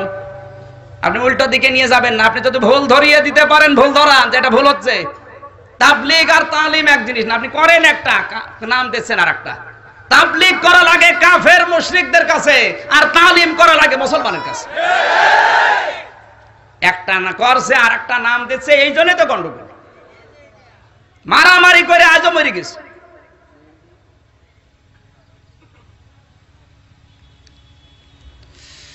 ভুল বুঝবেন না আমাকে। অনেকেই কিন্তু এই- কাটসাট করবে, এটা মিডিয়া যারা এসেছে, এরা কাটসাট করে ছেড়ে দেবে। আর এগিয়ে আসার দিন তাইরে সুযোগ পাবে, একেবারে সালাবে সালিয়া বলবে যে রসুলের বিরুদ্ধে আমি সারা জীবন রসুলের আদর্শ প্রচার করে বেড়াই, আর আমি রসুলের বিরুদ্ধে। আমি পাগল ছিলাম ওই সময়। আর ওই সময় কথা মানুষ বিশ্বাস করে হ্যাঁ? ও যখন আলেম বলছে, ও হতেও পারে। আমি নাকি রাসুলের ভালোবাসার বিরুদ্ধে। ওরা শয়তান, ওগুলো মিডিয়ারা করে কাটসাট করি। আমি দেড় ঘণ্টা, দুই ঘণ্টা কথা বলি। রাসুলের ভালোবাসা কাকে বলে, অনুসরণ কাকে বলে, ওই বিষয়ের উপরে বলেছিলাম, ওই দাউদ কান্দি কুমিল্লা। আর ওইটা কাট সাট করে আগে দেয়নি, পরে দেয়নি, মাঝখানে শব্দ তুলে দিয়ে আমার রসুলের বিরুদ্ধে লাগিয়ে দিস আর ওইগুলো বাতিলরা, এই মাজার পূজারি যারা পীর পূজারি, এরা এই শব্দগুলো নিয়ে এখন আমাকে সারা দুনিয়ায় কালার করেছে রসুলের বিরুদ্ধে। এই কথা প্রশাসনের কাছেও লাগিয়েছে যে আমি আমাদের রসুলের ভালোবাসার বিরুদ্ধে ওরে আসতে দিও না। আপনি বক্তব্যটা পড়া শুনবেন তো আমি রসুলের বিরুদ্ধে না পক্ষে? পক্ষে তো আপনি বলছেন। এই মিডিয়াগুলো তো কালকে কাটসাট করে ছেড়ে আমার তো বারোটা বাজিয়ে দেবে। এগুলো করবেন, আপনাদের দ্বারা আমরা সুযোগ পাচ্ছি। আমি মাওলানার কথা বলছিলাম না। নবিসি বাদ দিয়ে যদি অন্য কারও কাছ থেকে আপনি আবাদত নেন পথ মত নিয়ে আসেন, তাহলে আপনার মাওলানা সাজ্জিদিনা পড়ে দরুদ আদায় হচ্ছে না, ওগুলো সব ভণ্ডামি হচ্ছে। আপনি যদি সাজ্জিদিনা ঠিক করতে পারেন, মাওলানা ঠিক করতে পারেন, মান সাল্লা আলাইয়া ওয়াহিদান সাল্লাল্লাহু আলাইহি আশরা, একবার দরুদ পড়বেন, রহমতের দৃষ্টি পাবেন আল্লাহর 10 বার। কিন্তু ওই দরুদ কি এখন হচ্ছে? নিজেই বলছেন না। তাহলে কি করা লাগবে সেটা করেন। কারণ আজ দুনিয়ায় আমাদের সম্মান অনেকে দিচ্ছে, আমিও জানি। এই যে এখানে যাদের নাম দিয়েছেন, অবশ্যই এরা সম্মানিত। এদের সম্মান দেওয়া হচ্ছে হয়তো টাকা পয়সা আছে, এলাকায় ধনী মানুষ, পাওয়ার আছে ক্ষমতা আছে এই কারণে। সামনাসামনি অনেকে এদের প্রশংসা করবে। পেছনে যে একটু খোঁজ খবর নিয়ে দেখেন তো, কত মানুষ গালি দেয়। সামনাসামনি বলে, আপনি আল্লাহর অলি আপনি এলাকার কৃতি সন্তান। আর পেছনে যে বলে, আল্লাহ মরে না কেন? আমি নিজে শুনেছি আমি নিজে শুনেছি এই কথা। সামনাসামনি ওই রে প্রশংসা করে, আর পেছনে যে বলে, আল্লাহ মরে না কেন? বাচ্চা ঘটনাটা বলছে, এই কারণে যেন শিক্ষা আপনি নিতে পারেন। এই লোকটার জীবনী পড়ে আমি কোনো ভালো কাজ পাইনি। জালেম ছিল। একটা ভালো কাজ করেছিল দুনিয়ায় যে কোরআন শরীফে যে জবর এটাও দিয়েছে। তাছাড়া জীবনে ওর কোনো ভালো কাজ ওর পাইনি। মন্ত্রী পরিষদের যারা আছে বলে বাদশাহ আপনাকে লোকে গালি দেয়। আপনার জন্য আমরা বাইরে যেতে পারি না। বলে গালি দেয় কে? আমি দেখব। ছদ্মবেশ নিয়ে রাস্তায় গেছে। একটা গ্রাম্য লোকের সাথে দেখা। ডাক দে বলে "এই বেটা বাচ্চা হাজ্জাজিন ইউসুফ লোকটা কেমন? ওই লোকটা গেছে রেগে বলে "ওই, ও তো জালেম। ও জালেমের বাচ্চা জালেম। দুইবার যখন জালেম বলে ওর মেজাজ গেছে খারাপ হয়ে। ডাক দে বলে বেটা তুই আমারে চিনিস? বলছে, না, আমি সে হাত যাবে ইউসুফ। চিন্তা করছে, আমার তো মাথা থাকবে না। ডাক দিয়ে বলে, বাদশাহ আনন্দার, আপনি আমারে চেনেন? না আমি এই গ্রামের ওই লোক, যার মাসে দুই দিন মাথা খারাপ হয়, আজকে তার পয়লা দিন। পাগল। মাসে দুই দিন মাথা খারাপ হয়, আজকে পয়লা দিন। পাগল বইলে বেঁচে গিয়েছে, নাকি বাঁচার কথা ছিল? আজ আমরা অনেকেই পাগল মিলে বেঁচে যাচ্ছি। আপনি কি কথা বোঝেন না, নিচে নামা লাগবে? ঠিক আছে। অনেকে আবার না বোঝার ভান করে বসে থাকে। বোঝে, তারপরও না বোঝার ভান করে। তখন আবার নিচে নামে, তখন সমস্যা হয়। আমি আর নিচে নামতে পারলাম না, আপনি বুঝলেও ভালো, না বুঝলেও ভালো। সুতরাং আপনাকে যে সম্মান দেওয়া হচ্ছে, এটা যেন টিকে থাকে। ফালা নকিমুলাহুম ইয়াউমাল কিয়ামাতি ওয়াজনা। সূরা কাহাফের ভেতরে আছে। আল্লাহ তালা বলেন, দুনিয়ায় অনেক সম্মান আছে অনেকের। মরণের পরে ওদের কোনো গুরুত্বই আমি দেব না। ওই এলাকায় আসলে হয়তো পঞ্চাশটা তরুণ তৈরি হয়, গেট তৈরি হয়। কেয়ামতের দিকে আমি তাকাবই না। আপনার জীবন যেন ওই রকম হয়ে না যায়। কথা কি বোঝা গেছে? আমার আজকের বিষয় হচ্ছে মমিনের সাত দফা কর্মসূচি আর শয়তানের সাত দফা কর্মসূচি। আপনাকে থাকবেন না চলে যাবেন? বারান থেকে শুরু করছে। আগে কিন্তু সাইজিদিনা মাওলানা ঠিক করবেন, তারপরে। নাকি এই সামিনার নিচে? আজকেও পড়ছিলাম। সোলাইমান সাল্লামের জামানায় একবার জিনদেরকে বললেন তুমি একটা মসজিদ বানাও তো। ওরা মসজিদ বানানোর পরে আবার ভেঙে ফেলিস সোলাইমান নবী এসে দেখে মসজিদ ভাঙা। ডাক দিয়ে বলে, মসজিদ কই?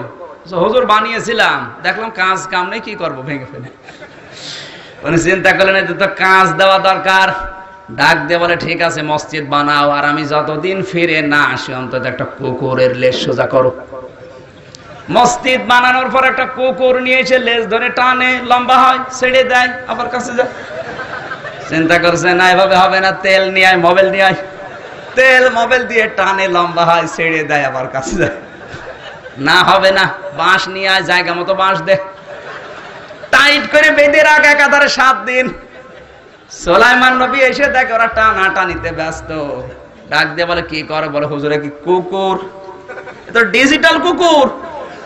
এত টানি লম্বা হয়, ছেড়ে দেয় কাছে যায় আমার মনে হচ্ছে আজ বাংলার অনেক মানুষ আমরা আছি, আমাদের চরিত্র ঠিক ওই রকমই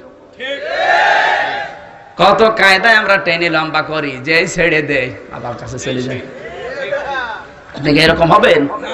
আর সাত দফা যে কর্মসূচি গুলো বলব, আপনি লিখে নেবেন, মোবাইলে তুলবেন, কালকে থেকেই মিলাবেন। আল্লাহ যেন আমাকে আর আপনাদেরকে আয়াতটা মেনে চলার তাও ফিক দেন। আমি পড়া কোরআন শরীফ, ঘেটে গবেষণা করে সাতটা বিষয় পেয়েছি। জবান ছেড়ে আগে পড়েন। আউযু বিল্লাহি মিনাশ শাইতানির রাজিম। بسم الله الرحمن الرحيم يا أيها الذين آمنوا الله وذروا ما بقي من الربا إن كنتم مؤمنين সরাই বাকারা দুইশত আটাত্তর নম্বর আয়াত একটা আয়াত পড়েছি দেখি এর ভেতরে কি আছে আল্লাহ রাব্বুল আলামিন বলেন যারা ইমানের দাবি করো, তাদেরকে ডাক দিলাম। সুতরাং এখানে যারা ইমানদার আমরা আছি তারা কিন্তু আয়াতের মুখাতেব। যারা বেঈমান আছি, চলে যান। বেঈমানের জন্য এই আয়াত না, অন্য আয়াত আছে। বেঈমান আছেন কেউ? এত আসতে বললেন। এবার দেখে তো বেঈমান আছে কিনা। যদি থাকে, ওরা আগে বিদায় করা লাগবে না তো এই আয়াত তার ওর জন্য না। নাকি? দেখি বেঈমান আছে কিনা যদি থাকে, তাহলে আপনি চলে যাবেন। যাবেন তো? কথা বলছেন না। যাবেন না? কিন্তু বেঈমান থাকে তো যাবেন না, বসে থাকবেন। কারণ এই আয়াত কিন্তু আপনার জন্য না ইয়া আজ্জুহাল্লাযীন আমানু, ঈমান যারা এনেছে, তাদেরকে আল্লাহ ডাক দিচ্ছে। আপনার তো ঈমানই নেই, আপনি বসবেন কেন? আপনি চলে যাবেন। এবার দেখি ঈমান আছে কিনা। ফামাই আকফর বিত্তাহ তাগুতি ওয়া ইউকমিন বিল্লাহ, ফাকাদ ইসতামসাকা বিল উরওয়াতিল ওয়াসকা। লাং ফিসামা লাহা ওয়াল্লাহু সামিউন আলিম। সূরা বাকারা 3 নাম্বার পারা, প্রথম নাম্বার পৃষ্ঠা 13 নাম্বার লাইনে 257 নাম্বার আয়াত। ভালো করে মিলান। আল্লাহ রাব্বুল আলামিন 56 নাম্বার আয়াত। আল্লাহ বলেন, কেউ যদি ঈমান আনতে চায়, আমি আল্লাহর প্রতি তার প্রথম শর্ত হচ্ছে সে যেন তাগুত ছেড়ে দেয়। ফামাই একফর বেত্তাগুত ওয়া ইউকমিন বিল্লাহ। কে যদি আল্লাহর উপরে ঈমান আনতে চায় তার এক নাম্বার শর্ত দিলাম, সে যেন তগত ছেড়ে দেয়। এখন তগত কাকে বলে? যদি আপনি নাই বোঝেন, তাহলে আপনার ঈমান তো আপনি বুঝলেন না। তগতের অর্থ চারটা। এক নাম্বারে, নিজেও আল্লাহর বিধানগুলো মানে না, অন্য কেউ মানবে, মানতেও দেয় না। নিজেও কোরআনের মাহফিলে আসে না, শোনে না, কেউ ব্যবস্থা করে, সেইটাও বন্ধ করে দেয়। এই তগত দেশে আসে না নেই? এই তগত যার, ওর কিন্তু ইমান নেই, ওর দাড়ি থাকতে পারে, ওর জুব্বা থাকতে পারে, ও হজ করতে পারে, কিন্তু ওর ইমান নেই। যেমন আব্দুল্লাহ ইবনে উবাই, কথা বলেন না কেন? ওর নামাজ ছিল, রোজা ছিল জাকাত ছিল, রসুলের সাথে হজ করেছে, ইফতারি করেছে। কিন্তু ওর ইমান ছিল। আরও আসতে বলেন। আর আমার তো মনে হচ্ছে আব্দুল্লাহ বিন ওবাই এখন এ দেশে অনেক আছে। আব্দুল্লাহ ইবনে ওবাই কাফের না মুনাফিক? মুনাফিক। মুনাফিক কিন্তু কাফের চাইতেও মারাত্মক। আর মুনাফিক শুধুমাত্র তৈরি হয় মুসলমানদের ভেতরে। ভালো করে শোনেন, মোনাফিক কিন্তু কাফের, মুশরিক, বৌদ্ধ, খ্রিস্টান, হিন্দু, এদের ভেতরে হয় না। মোনাফিক শুধুমাত্র তৈরি হয় মুসলমানদের ভেতরে। যেহেতু এই দেশে ছিয়ানব্বই ভাগ মুসলমান, সুতরাং এই দেশে মোনাফিক থাকার সম্ভাবনা আছে। না নেই? আছে? মোনাফিক থাকার সম্ভাবনা এই দেশেই বেশি। এখন যদি আপনি বলেন, আমি হিন্দু দেখব। যান, আপনি হিন্দু রাষ্ট্রে চলে যান ভারতে। হিন্দু পাবেন। যদি বলেন, আমি খ্রিস্টান দেখব আমেরিকায় চলে যান, শুধু খ্রিস্টান। যদি বলেন বৌদ্ধ দেখব যে মায়ানমারে যান, শুধু বৌদ্ধ জাপানে যান, শুধু বৌদ্ধ এখন যদি বলে, হুজুর, আমি মুসলমান, দেখব।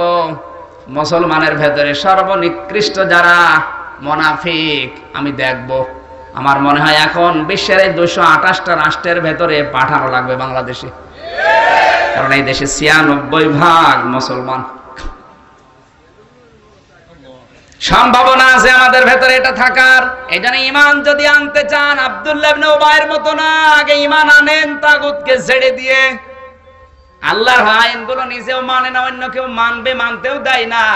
আল্লাহর আইনের বিপক্ষে আর একটা আইন দাঁড় করায়। শয়তান কিন্তু এত খারাপ ছিল না। কান খাড়া করেন। শয়তান আল্লাহর বিধান মানে না এতটুকুই।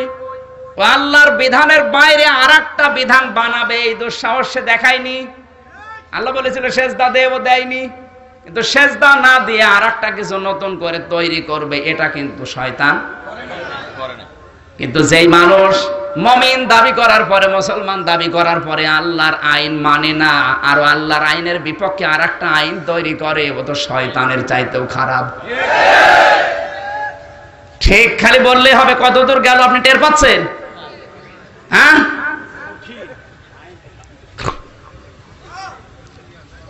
যে মুসলমান নিজে আল্লাহর আইন তো মানে না, আরও বিপক্ষে আর একটা আইন বানিয়ে মানুষের উপরে চাপিয়ে দেয়। ও শয়তানের চাইতেও আল্লাহর কাছে খারাপ।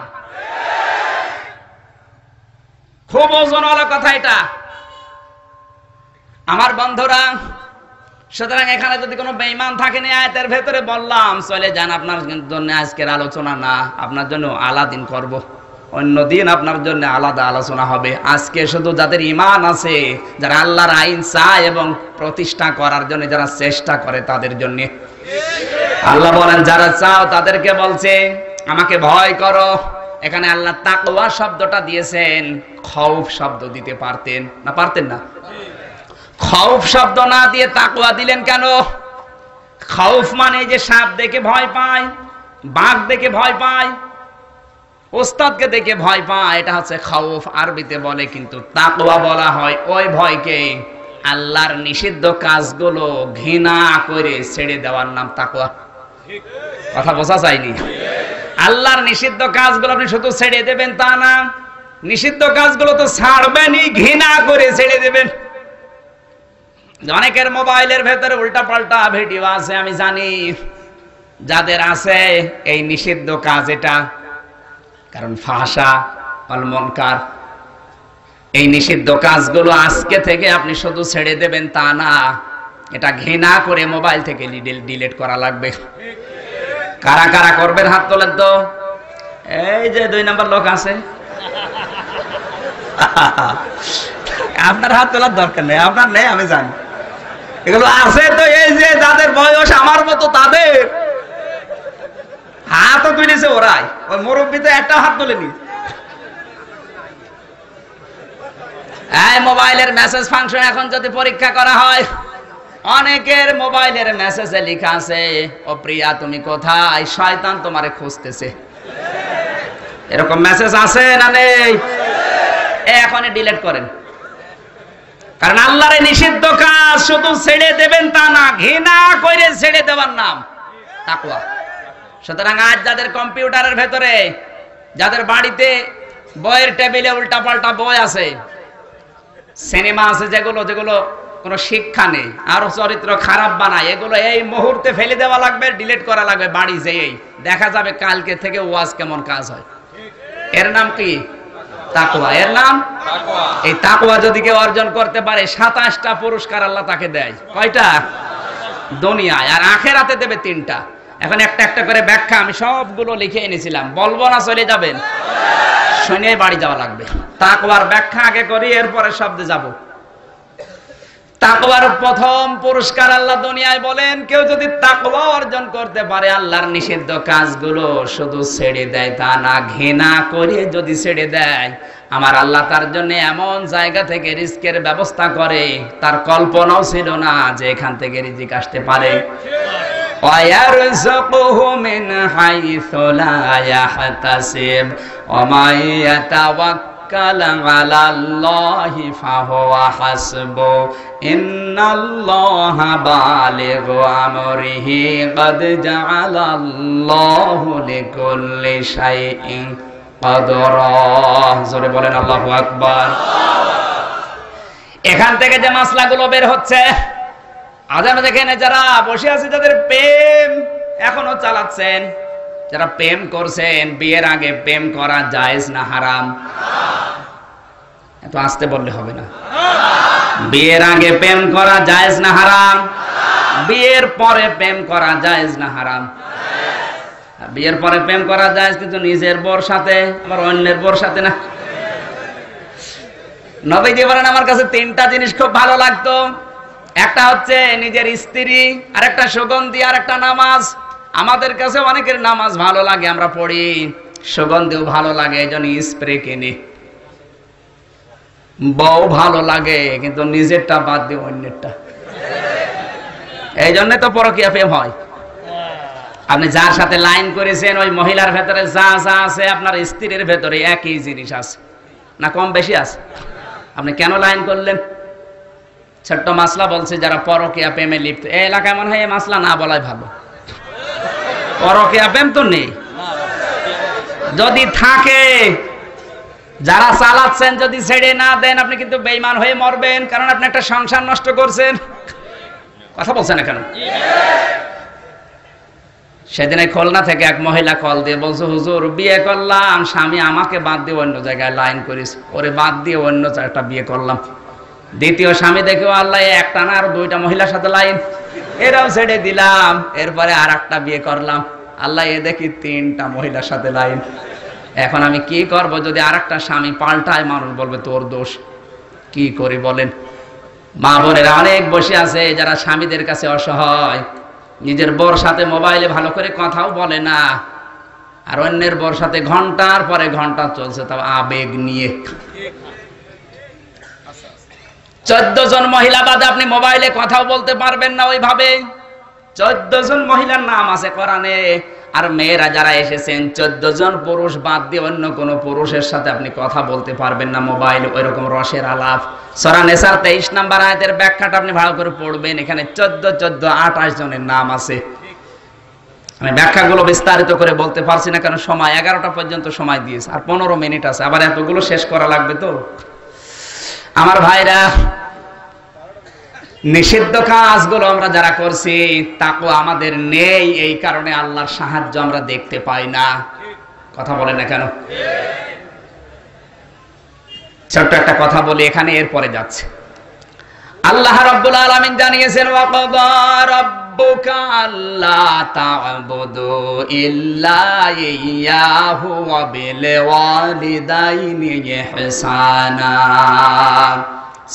ইসরাইলের 23 নম্বর আয়াত আল্লাহ জানিয়েছেন, আমি ফয়সালা দিয়ে দিলাম, রায় দিয়ে দিলাম, সিদ্ধান্ত দিয়ে দিলাম, এই আমি ছাড়া কারও ইবাদত করা যাবে না। আর মা বাবা যাদের আছে তাদের সাথে ভালো ব্যবহার করা লাগবে। তাকওয়ার ব্যাখ্যাটাই আমি নিরানব্বইটা অর্থ পেয়েছি। তাকুয়ার এক নাম্বার অর্থ হচ্ছে, আল্লাহর নিষিদ্ধ কাজ ঘৃণা ভরে ছেড়ে দেওয়া। দুই নাম্বারে যে যেখানে যেই দায়িত্ব পেয়েছে, ওই দায়িত্ব সঠিকভাবে সুচারুরূপে পালন করার নাম তাকওয়া। উনি বিশ্ববিদ্যালয় কলেজের প্রতিষ্ঠাতা, ওনার যে দায়িত্বটা আছে, ওই দায়িত্ব যদি সঠিকভাবে পালন করতে পারে, ওনার দাড়ি বড় না থাকতে পারে, জব্বা বড় না থাকতে পারে, কিন্তু ভেতরে তাকওয়া আছে। আমি বিশ্ববিদ্যালয়ে মাস্টার্সের সার্টিফিকেট নিতে গেলাম। যে লোকটা সার্টিফিকেট দিয়ে সই করে সেলমে টাকা বের কর মানে? এরকম তাকবাবান মানুষের দেশে আরও আসতে বলেন দুইশো টাকার জন্য ফাইলে সই করে না, এরকম দাড়িওয়ালা মানুষ আমি পেয়েছি। আমাদের এই যে কুষ্টিয়া দর্শনা, চুয়াডাঙ্গার দর্শনা, একটা মিল আছে কেরোজ মিল। কোনদিন ওই মিলে লাভ হয়নি। কিন্তু একবার এক জিএম গিয়েছিল, চিন্তা করছে কোনোদিন লাভ হয় না, কারণটা কি? উনি অনুসন্ধান করে দেখেছে যারা দায়িত্বে আছে, এরা দায়িত্বগুলো পালন করে না। আসার দরকার সকাল দশটায়, আসে বারোটায়। প্রথম দিন যেদিন এসেছে, রাত বারোটায় এসে জয়েন করেছে। দারোয়ানের গেটে যাওয়ার পরে বলে, বেটা, আমি আজকে নতুন সিএম এসেছি, তুই আমার ঘরে যা। এই এই ছোট্ট ঘরের ভেতরে বয়, তোর নিজের জামা কাপড় আমারে দে। দারোয়ানের জামা আর কাপড় আর বেল্ট মাজায় বেঁধে লাঠি হাতে নিয়ে দাঁড়িয়ে আছে। দশটা পঁয়তাল্লিশ বাজে, ঢুকতেছে মানুষ, যারা অফিসার। হঠাৎ করে দেখে দাড়ি বড়, জব্বা গায়ে দিয়ে তসবি একটা হাতে নিয়ে পাগড়ি মাথায় দিয়ে ঢুকতেছে। গাড়ি আটকে বলছে, স্যার বাসে কত? দশটা পঁয়তাল্লিশ? আপনার ঢোকার কথা? দশটায়? পঁয়তাল্লিশ মিনিট দেরি করেছেন, আপনাকে আমি ঢুকতে দেব না। ও ছিল তৃতীয় নম্বরের অফিসার। ও মনে করছে, দারোয়ান মনে হয় আগেরটাই। ডাক দিয়ে বলছে, বেটা, বেশি বোঝো আমারে দরকার নেই। আপনি যদি আমাকে চাকরি থেকে বরখাস্ত করেন, আমি আপনাকে ঢুকতে দেব না। ও তো জানে যে আমার চাকরি হারাবে না। জোর জবর করে জোরে ঠেলা দিয়ে ভেতরে ঢুকেছে। ঠিক আছে, আপনি যান। দারোয়ানকে বলে বেটা তুই এবার তোর পোশাক নেই আমার পোশাক দিয়ে দে। নিজের রুমে যাওয়ার পরে কল দিয়েছে।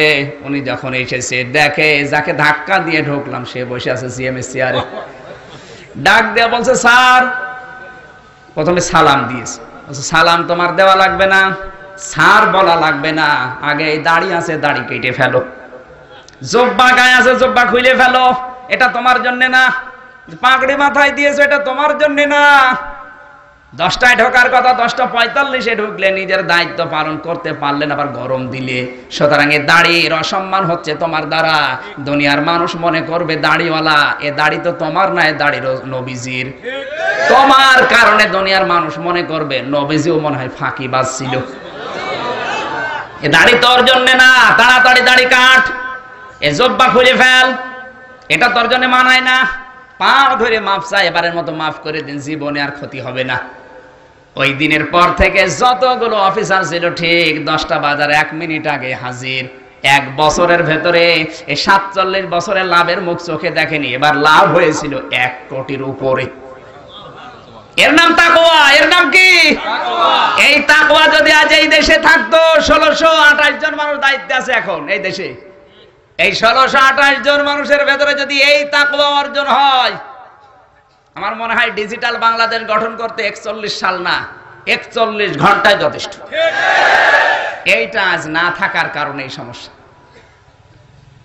পটুয়াখালী গিয়েছিলাম, পটুয়াখালী। নাম শুনেছেন? এমপি সাহেব, পাঁচ বছর আগে ওনার জমি ছিল মাত্র পাঁচ বিঘা, ছয় বিঘা। ছয় বিঘা জমি ছিল। এখন এই পাঁচ বছরের মাথায় ওনার জমি হয়ে দাঁড়িয়েছে আট হাজার পাঁচশো পঁচানব্বই বিঘা। এ তো সব জিব্রাইল ফেরেস্তা দিয়ে যাচ্ছে। এই যে লোকটা। হ্যাঁ আপনাকে কি প্রধানমন্ত্রী শেখ হাসিনা বলে দিয়েছে যে এভাবে জমি বাড়াও? ছয় বিঘা থেকে আট হাজার পাঁচশো পঁচানব্বই বাড়িয়ে ফেলো, বলেছে? আপনি তার দলের নাম দিয়ে আওয়ামী লীগের বদনাম হচ্ছে আপনার দ্বারা। আপনি আওয়ামী লীগ না, আপনি সুবিধা লীগ। এই রাষ্ট্রপতি গিয়েছিল রাজশাহী বিশ্ববিদ্যালয়ে কয়েকদিন আগে। শেষ কথা ছিল তার এই, যারা দুর্নীতিবাজ, যারা নিজেদের আখের গুছিয়েছে, এদের তোমরা ভোট দিবা না। এরা আওয়ামী লীগের বদনাম করছে, নাম দিয়ে এরা সুবিধা লীগ আসলে তাকওয়া হচ্ছে না, আজ তাকওয়া যদি সত্যি কথা বলছি তাকওয়া যদি এই ষোলোশো আঠাশ জন মানুষ হজরতে অমরের মতো গ্রহণ করতে পারত, দুনিয়াও তো পুরস্কার পেতই, আর বাংলাদেশ যেভাবে গঠন করতে চাচ্ছে ওইভাবে হয়ে যেত। কিন্তু হচ্ছে না এই তাকওয়াটা না থাকার কারণে। আল্লাহ, এই কারণে সোরা বানি ইসরায়েলের তেইশ নাম্বার আয়তে রায় দিয়েছেন যে আমি আল্লাহ ছাড়া কারও আইন মানা যাবে না। আল্লাহর আইন মানা ফরজ। আল্লাহর আইন মানা? আর মা বাবার আইন মানা? না না না। এই যে মাঝখানে ও আছে। কোরআন শরীফটা বুঝে পড়া লাগবে। শুধু সাহাবের নিয়েতে পড়ে গেলেন, সাহাব হইল, কিন্তু বাস্তব জীবন তো আপনার গঠন হবে না। অবিল ওয়ালিদাইনি ইহসানা দিয়েছেন আল্লাহ। আল্লাহর আইন মানা ফরজ, কিন্তু মা বাবার আইন মানা ফরজ না। মা বাবার খেদমত করা ফরজ। মা বাবার এই খেদমত যদি কেউ না করে, ওর ভেতরে তাকওয়া নেই, সে যাই হোক। আর তাকওয়া যদি কারও ভেতরে না থাকে, দুনিয়ায় তো এই সাতাশটা পুরস্কার পাবে না, আখেরাতের ওই তিনটা পুরস্কারও হারাবে। সর্বমোট পুরস্কার আমি তাফসিরে পেয়েছি তিরিশটা। কত? আরও জোরে বলেন। এবার আসেন তো আমরা একটু তাকওয়ার এই ফলাফলগুলো মিলাই। আপনাদের কষ্ট হচ্ছে? আমার বিশ্ববিদ্যালয় লাইফের এই কথাটা আমি শিক্ষার জন্য বলি, তাকওয়া আমার আল্লাহর আইন মানা ফরজ আর মা বাবার খেদমত করা ফরজ। তাদের আইন মানা ফরজ না। তারা যদি একটা আইন বানিয়ে বলে, এটা মানা লাগবে? না, ওটা যদি আল্লাহ রাসূলের সাথে মিলে যায়, তাহলে মানা যায় যাস কিন্তু আল্লাহ রাসূলের সাথে যদি না মেলে, ওইরকম মা বাবার আইন মানা যাবে না, কিন্তু তাদের খেদমত করা লাগবে। কথা বোঝা গেছে? আমার ভাইরা আজ পৃথিবীতে যারা আপনাকে ভালোবাসায় বা ভালোবাসা দিচ্ছে, যে কেউ ভালোবাসে বা ভালোবাসা দেয়, বুঝবেন ওর পেছনে কোনো স্বার্থ আছে। স্বার্থ ছাড়া কেউ আপনাকে নিঃস্বার্থ ভাবে ভালোবাসবে না। কিন্তু দুইজন মানুষ পৃথিবীতে নিঃস্বার্থ ভাবে মানুষকে ভালোবাসে, একজন মা আর একজন বাবা। আমি নিজে পরীক্ষিত, বসে বসে কাঁদতেছে, জিজ্ঞাসা করলাম, কি হয়েছে? বলছেন, বিয়ে করার পরে বাড়িতে আনলাম আমার স্ত্রীর সাথে, আমার মায়ের তুমুল ঝগড়া। বাইরে থেকে বাড়ি এসে দেখি বিশাল ঝগড়া চলছে। বউ আমারে বলে, দেখো তোমার মা ভালো না, বাবাও ভালো না। তুমি যদি আমাকে নিয়ে সংসার করতে চাও, এই মুহূর্তে এদেরকে বাদ দেওয়া লাগবে। তার মানে আলাদা হয়ে যাওয়া লাগবে। সংসার দুই দিন হতে পারে না, স্বামীকে বারবার আলাদা হতে বলে, এরকম বউ দেশে কম না বেশি? বেশি। শুধু এই বরটার দোষ না, এই বউকে বারবার কিন্তু ওই শ্বশুর বাড়ি থেকে ওই বর মা আর বর বোন আছে, বড় বোন, বারবার খোসায় যে আলাদা হয়ে যা, আরামে খেতে পারবি। আমি কি বেশি বললাম? চিন্তা করছে, ঠিক আছে, নতুন করে ঝগড়া তৈরি করলাম, মা বাবার সাথে আমি আলাদা হয়ে গেলাম, কিছুদিন আসি শুনলাম যে মুরগিতে ধান খেয়েছে, এই নিয়ে আমার মায়ের সাথে স্ত্রীর গন্ডগোল। বাড়িতে আসলাম, আমারে বলে, তোমার মাও ভালো না, বাবাও ভালো না, আমাকে নিয়ে যদি ঘর করতে চাও তাহলে বাড়িতেই থাকা যাবে না। চলো আমার বাবার বাড়ি যাব, কারণ আমি একা ঘর জামায় থাকব। কি করি স্ত্রী আমার সুন্দর? শেষ পর্যন্ত নতুন করে মা আর বাবার সাথে তুমুল আকারে ঝগড়া তৈরি করলাম, বাড়ি থেকে রাগারাগি করে চলে গেলাম। শ্বশুর বাড়িতে যে শ্বশুর এই সুযোগে কিছু টাকা পয়সা দিয়ে আমার লন্ডনে পাঠিয়ে দিল। দীর্ঘ পাঁচ বছর আমি লন্ডনে আছি। যত টাকা পয়সা উপায় করি সব আমার স্ত্রীর নামে অ্যাকাউন্ট করা এখানে পাঠিয়ে দেয় পাঁচ বছর পরে আমার শরীরে প্লেগ রোগ দেখা দিল, প্লেগ। সোয়াইসে রোগটা যার কাছে যায় তারই হয়। ডাক্তাররা পরীক্ষা করে বলে, এই ছেলে, তোমার যে রোগ ধরা পড়েছে, এখানে থাকলে মানুষের বাড়তে পারে। সুতরাং প্লেগ রোগে তোমাকে দেশে রাখা যাবে না। জলদি করে চলে যাও নিজের দেশে। আর তোমার যে রোগ রোগে মানুষ দুই, তিন মাসের বেশি বাঁচেও না। চিন্তা করছে, আল্লাহ আমার মা বাবা মনে হয় বরদোয়া দিয়েছে। এই কারণে আমার মারাত্মক অসুখ হয়েছে। দেখি তাদের কাছে একটু মাপছে তারপরে দুনিয়াতে আমি থাকব না, কারণ ডাক্তার বলেছে তিন চার মাসের বেশি আমার বাঁচবো না। চিঠি লিখেছে শ্বশুরের কাছে, শ্বশুর আব্বা, আমার শরীরে মারাত্মক অসুখ। ডাক্তাররা বলেছে, প্লেগ রোগ। তিন চার মাসের বেশি নাকি আমার বাঁচবো না। আগামী মাসের প্রথম সপ্তাহ মঙ্গলবারে ঢাকায় আসব, এয়ারপোর্টে আসবেন। শাশুড়ির কাছে একই কথা, স্ত্রীর কাছেও একই কথা লিখেছে। চিন্তা করছে, আর একটা চিঠি মা বাবার কাছে যদি লিখি, না জানি ওরা কি মনে করবে? যাই মনে করুক, আমি তো তাদেরই সন্তান। লিখেছে চিঠি মা আর বাবা, দীর্ঘ পাঁচ বছর তোমাদের খোঁজ খবর নেইনি। না জানিয়ে চিঠি পেলে তোমরা কি মনে করো? যা মনে করো মা বাবা, আমি তো তোমাদেরই সন্তান। পাঁচ বছর খবর নেইনি, আমি আগামী মাসের প্রথম সপ্তাহ মঙ্গলবারে ঢাকায় আসব, এয়ারপোর্টে আসবেন। শরীর খারাপ, এই কথা মা বাবার কাছে লিখে নাই। চিন্তা করছে, দেখি চিঠির জবাব আসে কিনা। আট, দশ দিন পরে জবাব পেয়েছে চিঠির, শ্বশুর আর শাশুড়ি দুইজন মিলে জবাব দিচ্ছে, জামাই বাবা, চলেই যখন আসতেছো, তোমার শাশুড়ির জন্য কিছু লাল লাল চাদর আর আমার জন্য শার্ট আর প্যান্টের পিস নিও। স্ত্রী জবাব দিচ্ছে, স্বামী, আমার বান্ধবীদের স্বামীরা যখন আসে, এই এই জিনিস নিয়ে আসে। আমি তোমার এই লিস্ট করে দিলাম, এগুলো নিয়ে আসবা। চিঠি পড়ে আর চোখের